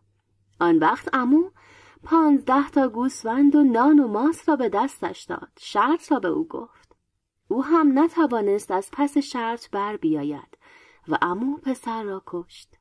برادر کوچک قسم خورد که تقاس خون برادرهایش را بگیرد. راه افتاد و رفت خانه امو با امو شرط و قرار گذاشتند که هر کدام از دست دیگری زله شد آن یکی او را بکشد. نوشته داد و گرفت و کارش را شروع کرد. بعد از یک ماه خوش رفتاری یک روز پسر هزار تومان پول امو را سوزاند. بعد هم با گریه و زاری به خانه آمد که کتم را در آوردم نماز بخوانم. یک نفر آن را دزدید. پولها هم توی کتم بود. دو سه روز بعد توی بازار چراغانی بود. امو به پسر گفت برو چل چراغ را از توی خانه بیاور پسر هم آمد و چل چراغ را برداشت. وسط راه آن را به زمین زد و شکاند. بعد هم به امو گفت که زمین خورده است. امو که شروع کرد به داد و بیداد پسر گفت چی امو از دست من زله شدی؟ یک روز پسر توی کوچه ایستاده بود. دید یک درشکه آمد. بچه امو توی بغل پسر بود. خودش را با بچه انداخت زیر درشکه. بچه زخمی شد. داد و فریاد امو که بلند شد پسر گفت چی امو از دست من زله شدی؟ امو گفت نه ولی بیشتر مراقب باش. شبی امو بچه دیگرش را به دست پسر سپرد. تا ببرد او را سر پا بگیرد. پسر او را برد بهش گفت شاش نکنی ها بچه ترسید. وقتی آمد توی اتاق باز گفت شاش دارم. باز امو او را داد دست پسر. پسر او را بیرون برد و گفت شاش نکنی ها بچه ترسید. شاش نکرده برگشت توی اتاق. به پدرش گفت شاش دارم. چند بار این کار تکرار شد. تا اینکه امو عصبانی شد و به پسر گفت ببرش اگر شاش نکرد بزنش. پسر هم بچه را آورد بیرون و زد. امو فریاد کشید چه کار کردی؟ پسر گفت خودت گفتی بزنش من هم زدم. حالا زله شدی؟ امو که شرط یادش بود گفت نه. خلاصه ده ماه گذشت. تا نوبت نان و ماست رسید. پسر پانزده تا گوسفند را جلو انداخت. نان و کاسه ماست را هم گرفت و راه افتاد. داشت گوسفندها را میچراند. یک سیاد دید که گرگی را شکار کرده بود. گوسفندی به او داد. گرگ کشته شده را از او گرفت. بعد هم کاسه را شکست. طوری که روی ما سالم ماند. دور تا دور نان را با چاقو برید و درآورد بعد نان و ماست را خورد و برگشت به خانه. اما گوسفندها را شمرد. دید چهارده تا هستند. گفت یکی دیگش کو؟ پسر گفت گرگ خورد ببین شکارش کردم. امو کاسه ماست و نان را نگاه کرد. دید روی ماست سالم است. دور تا دور نان هم سالم است. فردا دوباره کاسه ماست و نان را به دست پسر داد. با گوسفندها راهی بیابانش کرد. این بار پسر دو تا گوسفند به سیادی که از آنجا میگذشت داد. سیاد یک بچه پلنگ شکار کرده بود. گوسفندها را داد و بچه پلنگ کشته شده را گرفت. شب امو وقتی گوسفندها را شمرد دید از چهارده تا دو تاش کم است. گفت دو تا گوسفند کجاست؟ پسر بچه پلنگ را نشانش داد و گفت پلنگ به گله زد. یک نفر تفنگ داشت زد و او را کشت. امو گفت به به چه چوپانی؟ هشت روز چوپانی کردی سه تا گوسفند را به باد دادی. شب وقتی پسر خوابید امو با زنش مشورت کرد و گفت این پسره تا تقاس خونه برادرهاش را از من نگیره ولکن من نیست. به نظر تو چه کار کنی؟ زن گفت وقتی گوسفندها را به صحرا برد اسباب و اساسیه را جمع کنیم و از اینجا برویم تا از دستش خلاص شویم. امو نقشه زن را پسندید. دختر امو که پسر بهش قول داده بود او را به زنی بگیرد خبر را به گوش پسر رساند. روزی که می‌خواستند حرکت کنند دختر امو پسر را خبر کرد. او هم شش تا گوسفندی را که باقی مانده بود به دست چوپانی سپرد و آمد توی یک صندوق پنهان شد. به دختر گفت قفلش کن. حرکت کردند. جایی برای خوردن شام توقف کردند. امو گفت از دست این پسر راحت شدم. حالا می توانم یک نفس راحت بکشم. اگر مانده بود شش روز دیگر یک سال تمام می شد پسر می‌خواست وارث من بشود. از دستش زله شده بودم. پسر از توی صندوق میخ قفل را شکست و بیرون آمد. گفت امو جان الوعده وفا. تو از دست من زله شدی. بعد امو را توی صندوق جای خودش گذاشت. به سمت شهر خودشان برگشتند. آن شش روز پسر امو را از صندوق بیرون نیاورد. شام و نهار امو را توی صندوق میگذاشت و بالای سرش میایستاد تا بخورد. پسر تهیه عقد کنان گرفت و تجار شهر را خبر کرد. بعد امو را از صندوق بیرون آورد و به او گفت درست است که قرار گذاشتیم هر کدام زله شدیم دیگری او را بکشد. اما من تو را جای پدر خودم قبول می کنم و نمی کشمد. بیا محضر حاضر است. تجار هم نشستند. عمودی چاره ای ندارد جز اینکه دخترش را به عقد پسر در بیاورد و هموالش را هم به نام پسر کند.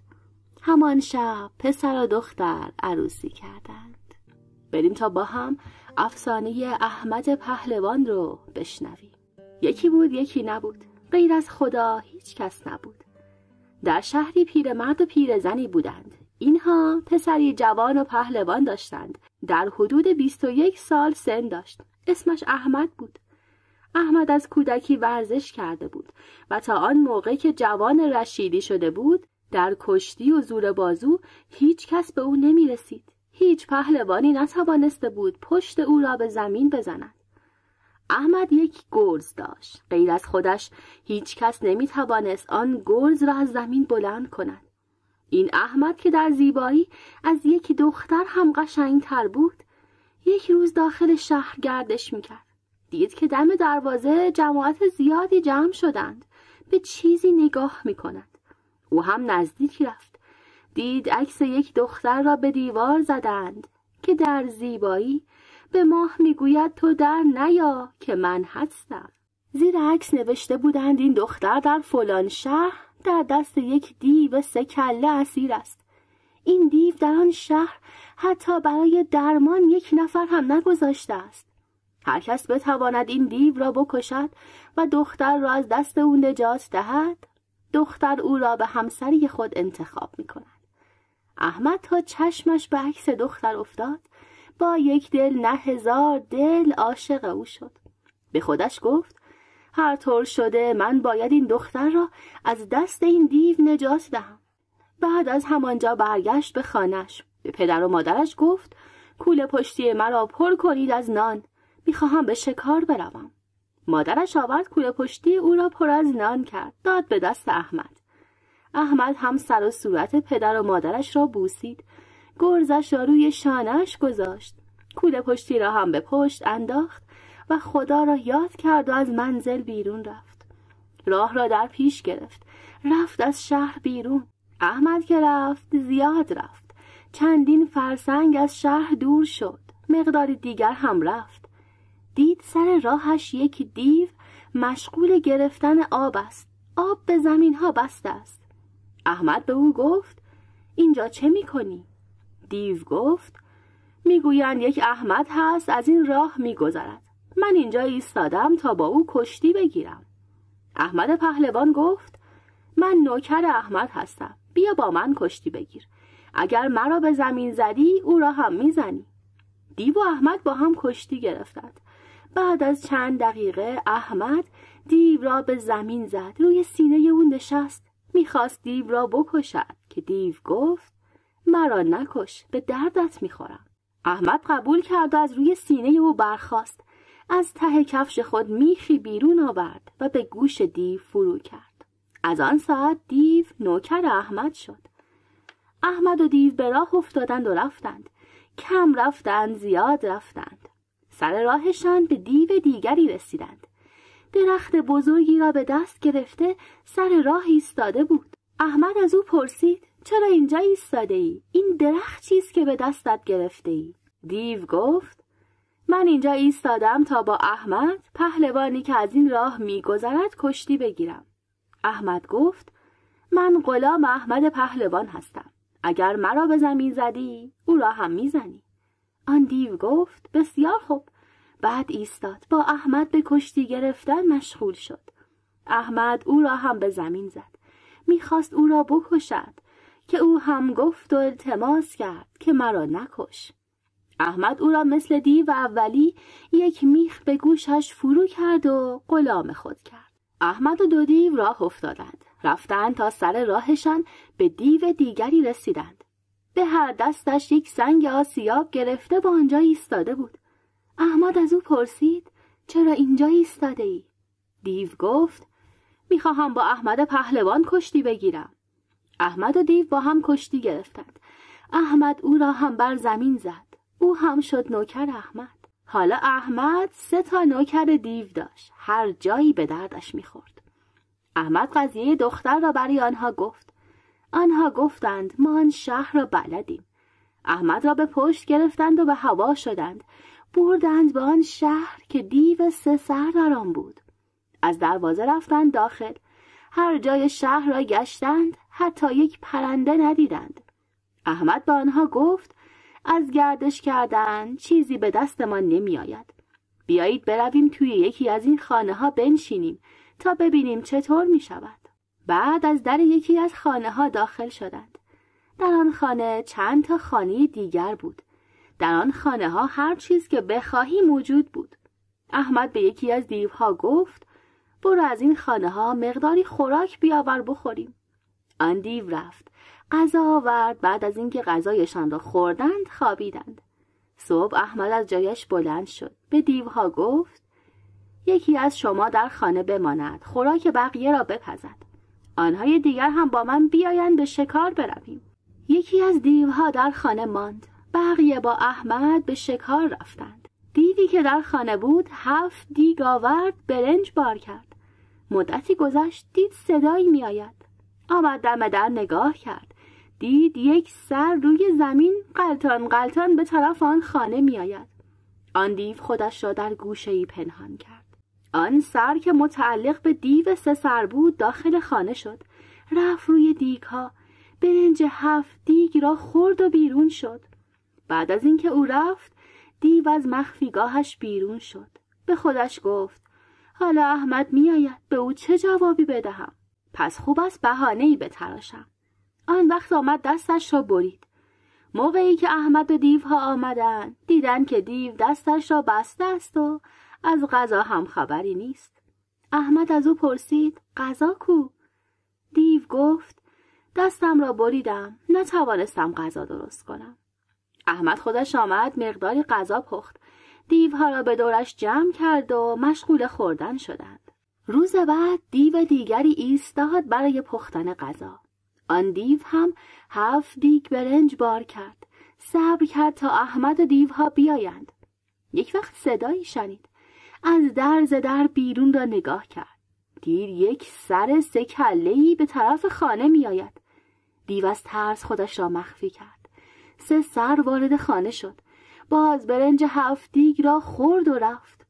این دیو هم آمد پایش را زخمی کرد. شب احمد و دیوها آمدند. دیدند که از خوراک خبری نیست. احمد از او پرسید غذا پختی؟ دیو گفت تبر به پایم خورد نتوانستم. روز بعد دیو سوم ایستاد. این هم مثل دوتای دیگر خودش را زخمی کرد. احمد به خودش گفت اینها یک سری در کارشان هست. این دفعه خودم می ایستم تا ببینم چی در این خانه است. آن وقت به دیوها گفت شما به شکار بروید. امروز نوبت من است. دیوها رفتند. احمد آمد برنج در دیکا بار کرد. آن وقت نشست توی خانه. مدتی گذشت. دید صدایی میآید. آمد از درز در به بیرون نگاه کرد. دید یک کله سه سر قلتان قلتان به طرف خانه میآید. سرهایش دیده می شود اما بدنش دیده نمی شود زود زود شمشیرش را برداشت پشت در قایم شد. وقتی که سه سر می‌خواست داخل خانه شود احمد مجال نداد. با شمشیری که در دست داشت زد یکی از سرهای دیو را برید. آن سه کله که همان دیو سه سر بود همین که یکی از سرهایش بریده شد صدایی درآورد که تمام موهای سر احمد سیخ سیخ شد. دیو از همانجا برگشت و رفت. احمد گفت بروم ببینم کجا می رود دیو رفت احمد هم از دنبالش افتاد. رفتند و رفتند تا اینکه دیو سه سر داخل چاهی شد. احمد آمد سر آن چاه. هرچه به چاه نگاه کرد چیزی ندید. سر چاه نشانی گذاشت که چاه را گم نکند. به خانه برگشت. موقعی برگشت که دیوها هم از شکار آمده بودند. احمد روی آنها داد زد. چرا در این چند روز به من نگفتید؟ این طور دیوی میآید برنج را می‌خورد و می‌رود. دیوها گفتند ما ترسیدیم که دعوامان کنی. احمد گفت بسیار خوب. غذایتان را بخورید برویم آن دیو را بکشیم. دیوها غذایشان را خوردند و بلند شدند. احمد هم گرزش را برداشت. رفتند و رفتند تا بالای آن چاه رسیدند. احمد گرزش را زمین گذاشت. به دیوها گفت یکی از شما برود توی چاه ببیند داخل این چاه تا کجا می رود. به کمر یکی از دیوها تناب بست. او را داخل چاه کرد. دیو وقتی به نیمه های چاه رسید داد زد. آخ سوختم مرا از چاه بالا بکشید. احمد او را از چاه بیرون آورد. از او پرسید چه بود که داد زدی؟ دیو گفت داخل چاه به قدری گرم بود که خیال می‌کردی توی یک تنور هستی. احمد هر یک از دیوها را داخل چاه کرد. هر یک از آنها گفتند سوختم و احمد آنها را بیرون آورد. بعد تناب را بست به کمر خودش. به دیوها گفت هر وقت گفتم سوختم شما مرا پایین بفرستید. داخل چاه شد. دیوها احمد را پایین فرستادند. به نیمه های چاه که رسید گفت سوختم. دیوها تناب را پایین دادند. احمد فهمید که این حرارت نفس دیو است.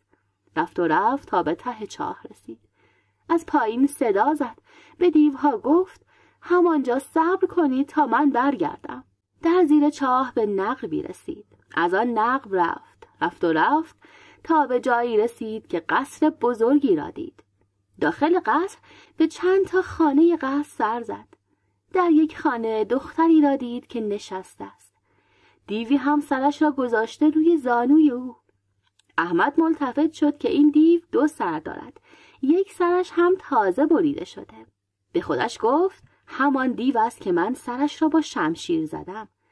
این هم همان دختری است که عکسش را دم دروازه شهر به دیوار زده بودند. احمد داخل خانه شد و سلام کرد. دختر سرش را بلند کرد و به احمد نگاه کرد. احمد هم به او نگاه کرد. هر دو یک دل نه هزار دل عاشق همدیگر شدند. بعد از چند دقیقه که به هم نگاه کردند دختر گفت ای آدمیزاد چرا به اینجا آمده ای؟ اینجا دنیای تاریک نام دارد. اگر قاطر به اینجا بیاید سمش میریزد. پرنده بیاید پرهایش میریزد. تو چطور به اینجا آمده ای؟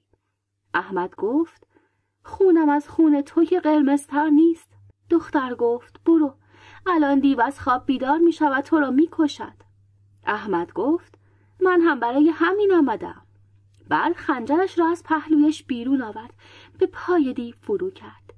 دیو به دختر گفت مگس ها را بران. دختر گفت بلند شو آدمی زاد است. اما دیو بلند نشد. دوباره احمد خنجر را در پای دیگرش فرو کرد. دیو دوباره گفت گیس بریده به تو می‌گویم مگس ها را بران. دوباره دختر گفت بلند شو آدمی زاد است. این دفعه دیو از جایش بلند شد. تا چشمش به احمد افتاد گفت تو چرا به اینجا آمده ای؟ الان تو را یک لغمه چپ می کنم.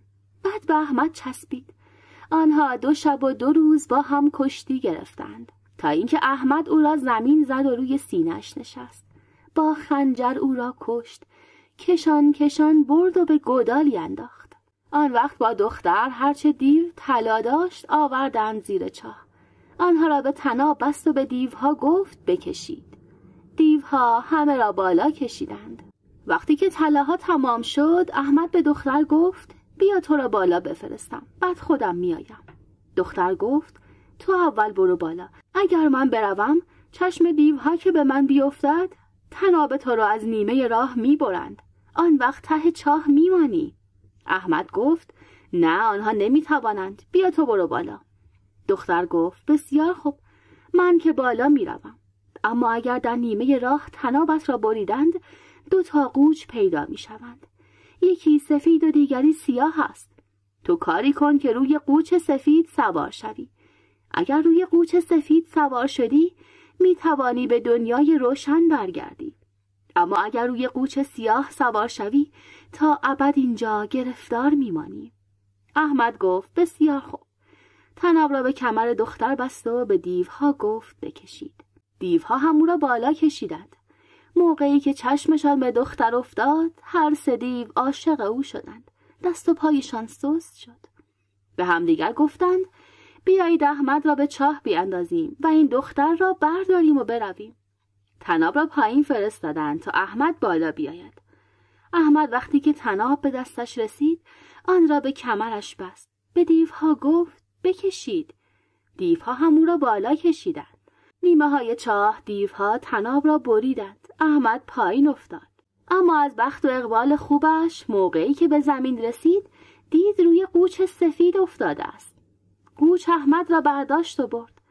وقتی که دیوها از بابت احمد خیالشان راحت شد ایستادند. تمام طلاها را بین هم قسمت کردند. بعد روی دختر دعوایشان شد. یکی می‌گفت مال من است. دیگری می‌گفت نه مال من است.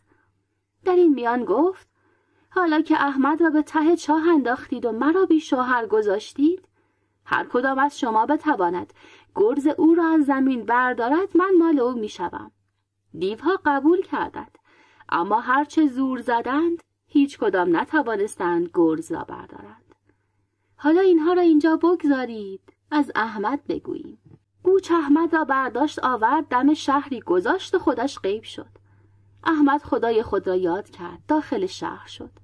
آمد دید که پیرمردی مشغول شخم کردن است. داد زد. پیرم او خدا قوت. من گرسنه هستم. مقداری نان به من می‌دهی بخورم. پیرمرد گفت پسر آرام حرف بزن. بیا نزدیک اما صدایت را در نیار. در اینجا دو شیر هست که میآید هم مرا هم گاوهایم را هم تو را می‌خورد. احمد گفت امو جان بده من برایت شخ می‌کنم. تو برو برایم مقداری نان بیار. پیرمرد گفت بسیار خوب اما صدایت را بلند نکن. احمد گفت بسیار خوب. پیرمرد رفت. همین که او رفت احمد با صدای بلند شروع به هو کرد مشغول شخم کردن شد. مدتی گذشت. احمد دید دو تا شیر بزرگ به طرف او میآیند. خوب که نزدیک شدند احمد گاوها را باز کرد. رفت گوشهای هر دو شیر را گرفت. آنها را به گاواهن بست و مشغول شخم کردن شد. پیرمرد موقعی که آمد دید احمد شیرها را به گاواهن بسته است و شخم می کند. پیرمرد از آنجا داد زد. پسرم می ترسم نزدیک بیایم. احمد گفت بیا نزدیک نترس. بعد شیرها را باز کرد. سر هر دو را به همدیگر زد و آنها را کشت. پیرمرد نان را آورد و داد به احمد و او خورد. بعد از پیرمرد خداحافظی کرد و آمد داخل شهر. آمد و آمد تا به دم دری رسید در را زد. پیرزنی آمد در را باز کرد.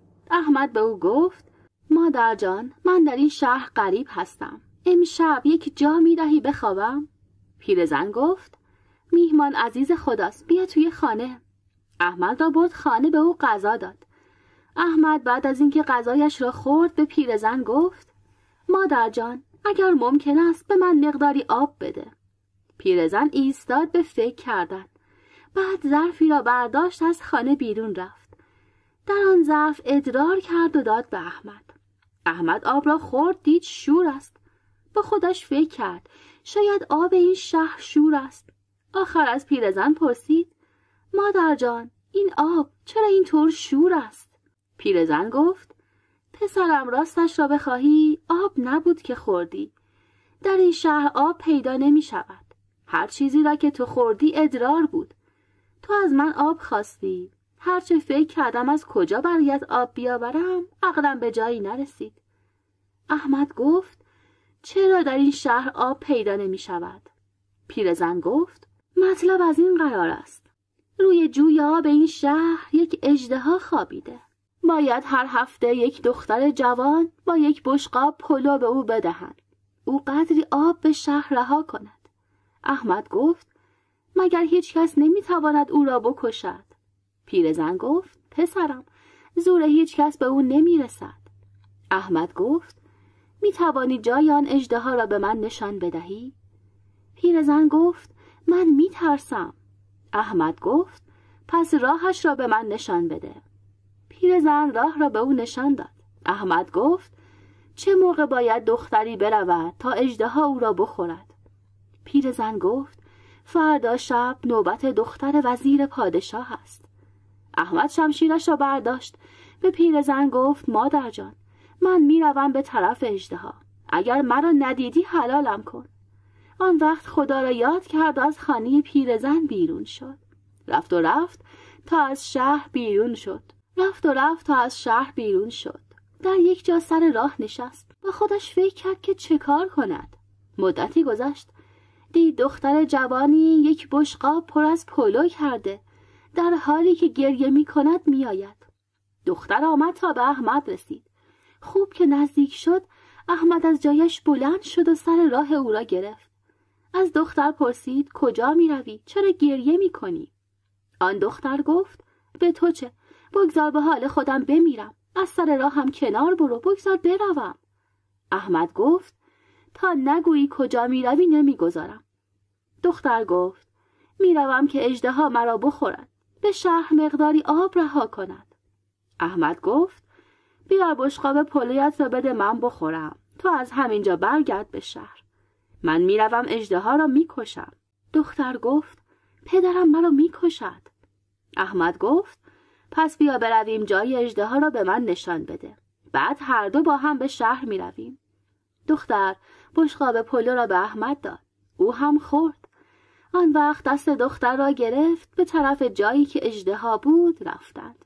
رفتند و رفتند تا به جایی رسیدند که احمد جلوی روی خود اجدهای بزرگی را دید. دید جلوی جوی آب دراز کشیده و نمی‌گذارد یک قطره آب به طرف شهر برود. احمد دختر را در کناری گذاشت. خودش به طرف اجدها رفت. تا چشم اجدها به احمد افتاد از جایش حرکت کرد. به خیال اینکه این بار هم دختری را می‌خورد دهانش را باز کرد که احمد را بخورد. احمد که از نفسهای اجدها به جلو کشیده می‌شد فورا شمشیری را که از دو طرف با دو دست گرفته بود به دهان اجدها رساند. آن را از وسط دو نیم کرد و کشت. دختر تا دید اجدها کشته شد در همان حال که احمد مشغول کشتن اجدها بود. دزدکی بدون اینکه احمد ملتفت شود دستش را به خون اجدها زد و مالید به پشت احمد. بعد دختر دوان دوان به شهر برگشت. آمد و به پادشاه گفت چرا ایستاده اید آب شهر را برد. چند نفر بفرستید بروند. نگذارند آب داخل شهر شود که شهر را خراب می کند بعد قصه احمد را برای پادشاه نقل کرد. پادشاه گفت تو اگر آن پسر را ببینی می‌شناسی؟ دختر گفت من پنج انگشتم را به خون اجدها فرو بردم به پشت پسر زدم. خودش ملتفت نشد. تو صبح بگو داد بزنند. هرچه جوان توی شهر هست بیایند اینجا. من دم در می ایستم هر کدامان نشان را داشته باشد میآورم پیش تو. حالا اینها را اینجا بگذار تا از احمد بگویم. احمد موقعی که خیالش بابت اجدها راحت شد برگشت پشت سرش را نگاه کرد که ببیند دختر هست یا نه. به او بگوید حالا از دست اجدها راحت شدی؟ دید دختر نیست. شمشیر و دستش را در آب شست و به راه افتاد. به شهر برگشت. آمد خانه پیرزن.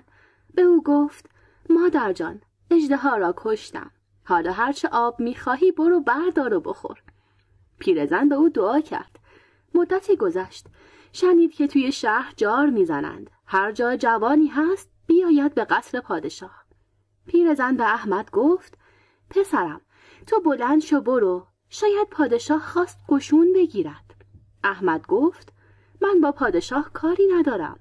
پیرزن گفت برو ضرر که نمی کنی. احمد حرف او را قبول کرد. از جایش بلند شد. به طرف قصر رفت. دختر وزیر جلوی در قصر ایستاده بود. هر پسر جوانی که از در قصر میگذشت به پشت سرش نگاه می‌کرد. تا اینکه احمد آمد که رد شود. تا چشم دختر به او افتاد دستش را گرفت و گفت مرا می‌شناسی؟ احمد نگاه کرد. دید این همان دختر است که می‌رفت تا اجدها او را بخورد. به دختر گفت چطور نمی‌شناسم؟ چرا دستم را گرفته ای؟ دختر گفت من اینجا ایستادم که تو را پیش پادشاه ببرم. احمد را برد پیش پادشاه گفت قبله عالم این آن جوان است که گفتم. پادشاه گفت جوانان دیگر را از قصر بیرون کنید. من چیزی را که دنبالش بودم پیدا کردم. بعد به احمد گفت بیا پسرم. بیا پیش من بنشین و هرچه می‌خواهی بگو تا برایت حاضر کنم. تو این شهر را از مرگ نجات داده ای احمد گفت قبل یالم من چیزی نمی‌خواهم. پادشاه گفت بگو من دختری دارم. بگو تا او را به تو بدهم. یا دختر وزیر را که از مرگ نجات داده ای می‌خواهی. بگو. اگر پادشاهیم را هم بخواهی می‌دهم. احمد گفت اینها که گفتی هیچ کدام به درد من نمی‌خورد. اگر راست می‌گویی مرا با آن دنیای روشن برسان. پادشاه گفت پسرم من نمی‌توانم تو را به دنیای روشن برسانم. ولی در فلان شهر برادر بزرگی دارم. آنجا برو شاید او تو را به دنیای روشن برساند. احمد گفت بسیار خوب. بعد پادشاه شخص بلدی را همراه احمد کرد تا او را به آن شهر ببرد. آنها از آن شهر بیرون شدند. در ضمن پادشاه برای برادرش در کاغذی همه چیز را نوشت. آن را به دست احمد داد و سر و صورتش را بوسید. احمد و بلد رفتند و رفتند. تا به آن شهر که برادر پادشاه در آنجا بود رسیدند. رفتند پیش پادشاه آن شهر. پادشاه برادر پادشاه اول بود. وقتی که آن پادشاه کاغذ برادرش را خواند به احمد گفت پسرم این کار از دست من بر نمی آید فقط در این شهر جنگلی هست. در آن جنگل سیمرغی هست که هر سال بچه های آن سیمرغ را اجدهایی می‌خورد و نمی‌گذارد آنها بزرگ شوند. تو اگر بتوانی بچه های او را از دست اجدها نجات بدهی شاید او بتواند تو را به دنیای روشن برساند. الان موقع بچه گذاشتن سیمرغ است. بعد یک بلد همراه او کرد که جنگل را به احمد نشان بدهد. آنها رفتند و رفتند تا به جنگل رسیدند. آن وقت بلد از آنجا برگشت. احمد تنها ماند خدا را یاد کرد. داخل جنگل شد. کم رفت زیاد رفت. تا به درخت بزرگی رسید. آنجا نشست. بعد دراز کشید و خوابید. یک وقت دید صدای جوجه هایی می آید. از جایش بلند شد و به اطرافش نگاه کرد. دید چند قدم آن طرفتر یک اجدهای بزرگی به درخت چسبیده است. سر و صدای جوجه ها هم از آن درخت است. شمشیرش را برداشت و نزدیک رفت افتاد به جان اجدها او را کشت و تکه تکه کرد. گوشتش را هم به جوجه ها داد که بخورند. این جوجه ها بچه های همان سیمرغ بودند. یکی از آن جوجه ها که از جوجه های دیگر بزرگتر بود از گوشت ها مقداری زیر زبانش نگه داشت.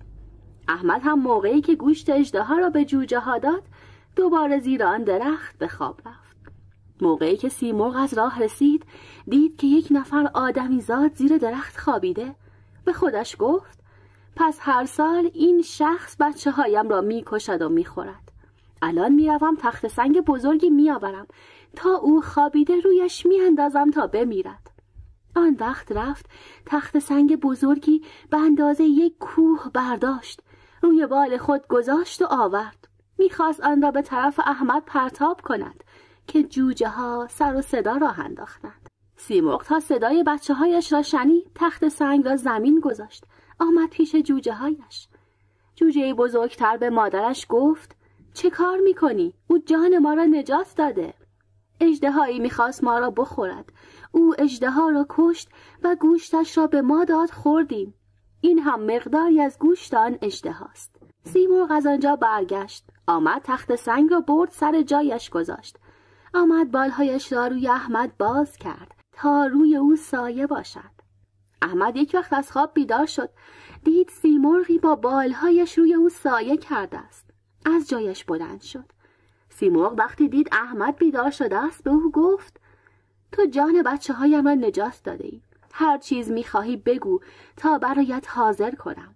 احمد گفت اگر می‌خواهی این کار مرا تلافی کنی مرا به دنیای روشن برسان. سیمرغ گفت پس برو به پادشاه بگو چهل گاو بکشد. پوست آنها را پر از آب کند گوشتشان را هم نگه دارد آن وقت تو بیا اینجا به من بگو تا تو را به دنیای روشن ببرم احمد رفت و قضیه را به پادشاه گفت. پادشاه هم دستور داد تا چهل گاو را بکشند و پوستشان را از آب پر کنند. گوشت آنها را هم با پوستشان بردارند و ببرند به جنگل پیش سیمرغ. موقعی که همه چیز حاضر شد به جنگل آوردند. سیمرغ به احمد گفت بیا چهل لاشه گوش را بگذار روی یک بالم و آبها را هم روی بال دیگرم بگذار. خودت هم وسط بنشین. در راه موقعی که گفتم آب تو گوشت بده. هر وقت گفتم گوشت تو آب بده. احمد گوشت ها و آب ها را روی دوبال سیمرغ گذاشت. خودش هم وسط دوبال سوار شد. آن وقت سیمرغ به آسمان بلند شد. رفتند. مدتی که رفتند سیمرغ به احمد گفت آب. احمد به او گوشت داد. دوباره رفتند. این بار سیمرغ گفت گوشت. احمد به او آب داد. چند ماه سیمرغ در آسمان پرواز کرد.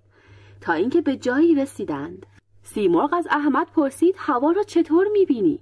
احمد گفت کمی روشن شده. سیمرغ هی می‌رفت. هی از احمد گوشت و آب می‌خواست. دوباره سیمرغ پرسید هوا را چطور می‌بینی؟ احمد گفت روشن است. بعد سیمرغ از احمد آب خواست. احمد نگاه کرد دید گوشت تمام شده. آن وقت با خنجر قسمتی از ران خود را کند و به سیمرغ داد. سیمرغ دید این گوشت از گوشت اولی شیرین تر است. این بود که آن را زیر زبانش نگه داشت. تا به جایی رسیدن که هوا خوب روشن بود. سیمرغ احمد را برد دم دروازه آن شهری که دیوها و دختر سر چاه بودند. او را زمین گذاشت. آن وقت به احمد گفت پیاده شو راه برو ببینم. احمد گفت من می‌روم. حالا که مرا به دنیای روشن رسانده ای ممنونم. سیمرغ گفت نه راه برو. احمد به راه افتاد. سیمرغ دید که او میلنگد. احمد را صدا زد پیش خودش. گوشت ران احمد را که زیر زبانش نگه داشته بود با آب دهانش آن را سر جای اولش چسباند. زخم ران احمد خوب شد. آن وقت سیمرغ سه تا از پرهایش را به او داد. گفت آن سدیو با دختر هنوز سر آن چاه هستند. یکی از این پرها را به صورتت بزن. آن وقت به صورت پیرمردی در میایی. برو سر چاه. آنها سر گرز تو دعوا می کنند دختر از آنها خواسته و به آنها گفته است.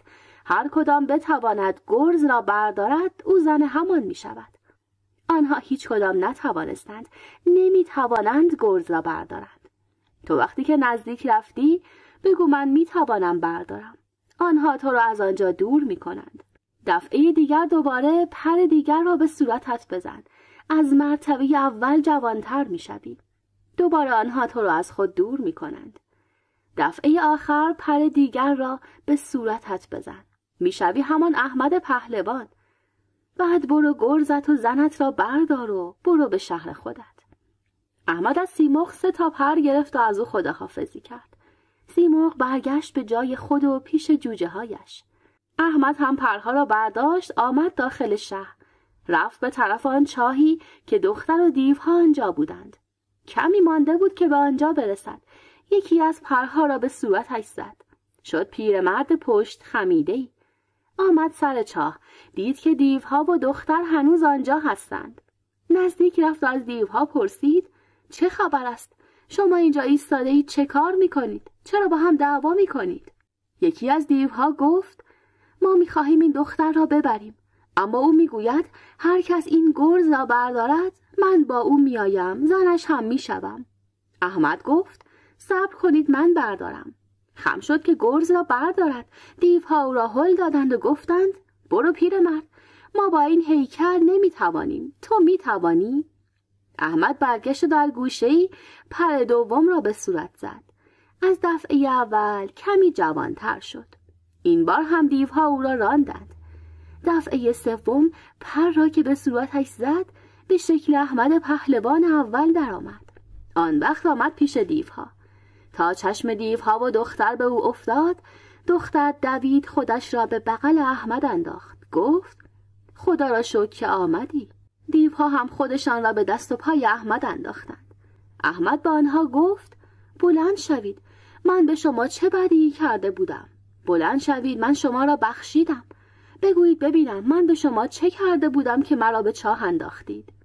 دیوها ایستادند به التماس کردند که ما غلط کردیم نفهمیدیم. احمد گفت از زمین بلند شوید. این طلاها را بردارید تا برویم به شهر خودمان. دیوها از زمین بلند شدند. هرچه طلا سر چاه بود جمع کردند. آن وقت احمد هم که هنوز دختر در بغلش بود او را از خود جدا کرد. آمد به دیوها کمک کرد. موقعی که همه چیز حاضر شد احمد طلاها را روی شانه یکی از دیوها گذاشت. گرزش را هم روی یکی دیگر و خودش و دختر هم روی دیگری سوار شدند. بعد دیوها به آسمان بلند شدند. آمدند و آمدند تا به شهر احمد رسیدند. پدر و مادر احمد بعد از رفتن او آنقدر گریه کرده بودند که چشمان هر دو نفرشان کور شده بود.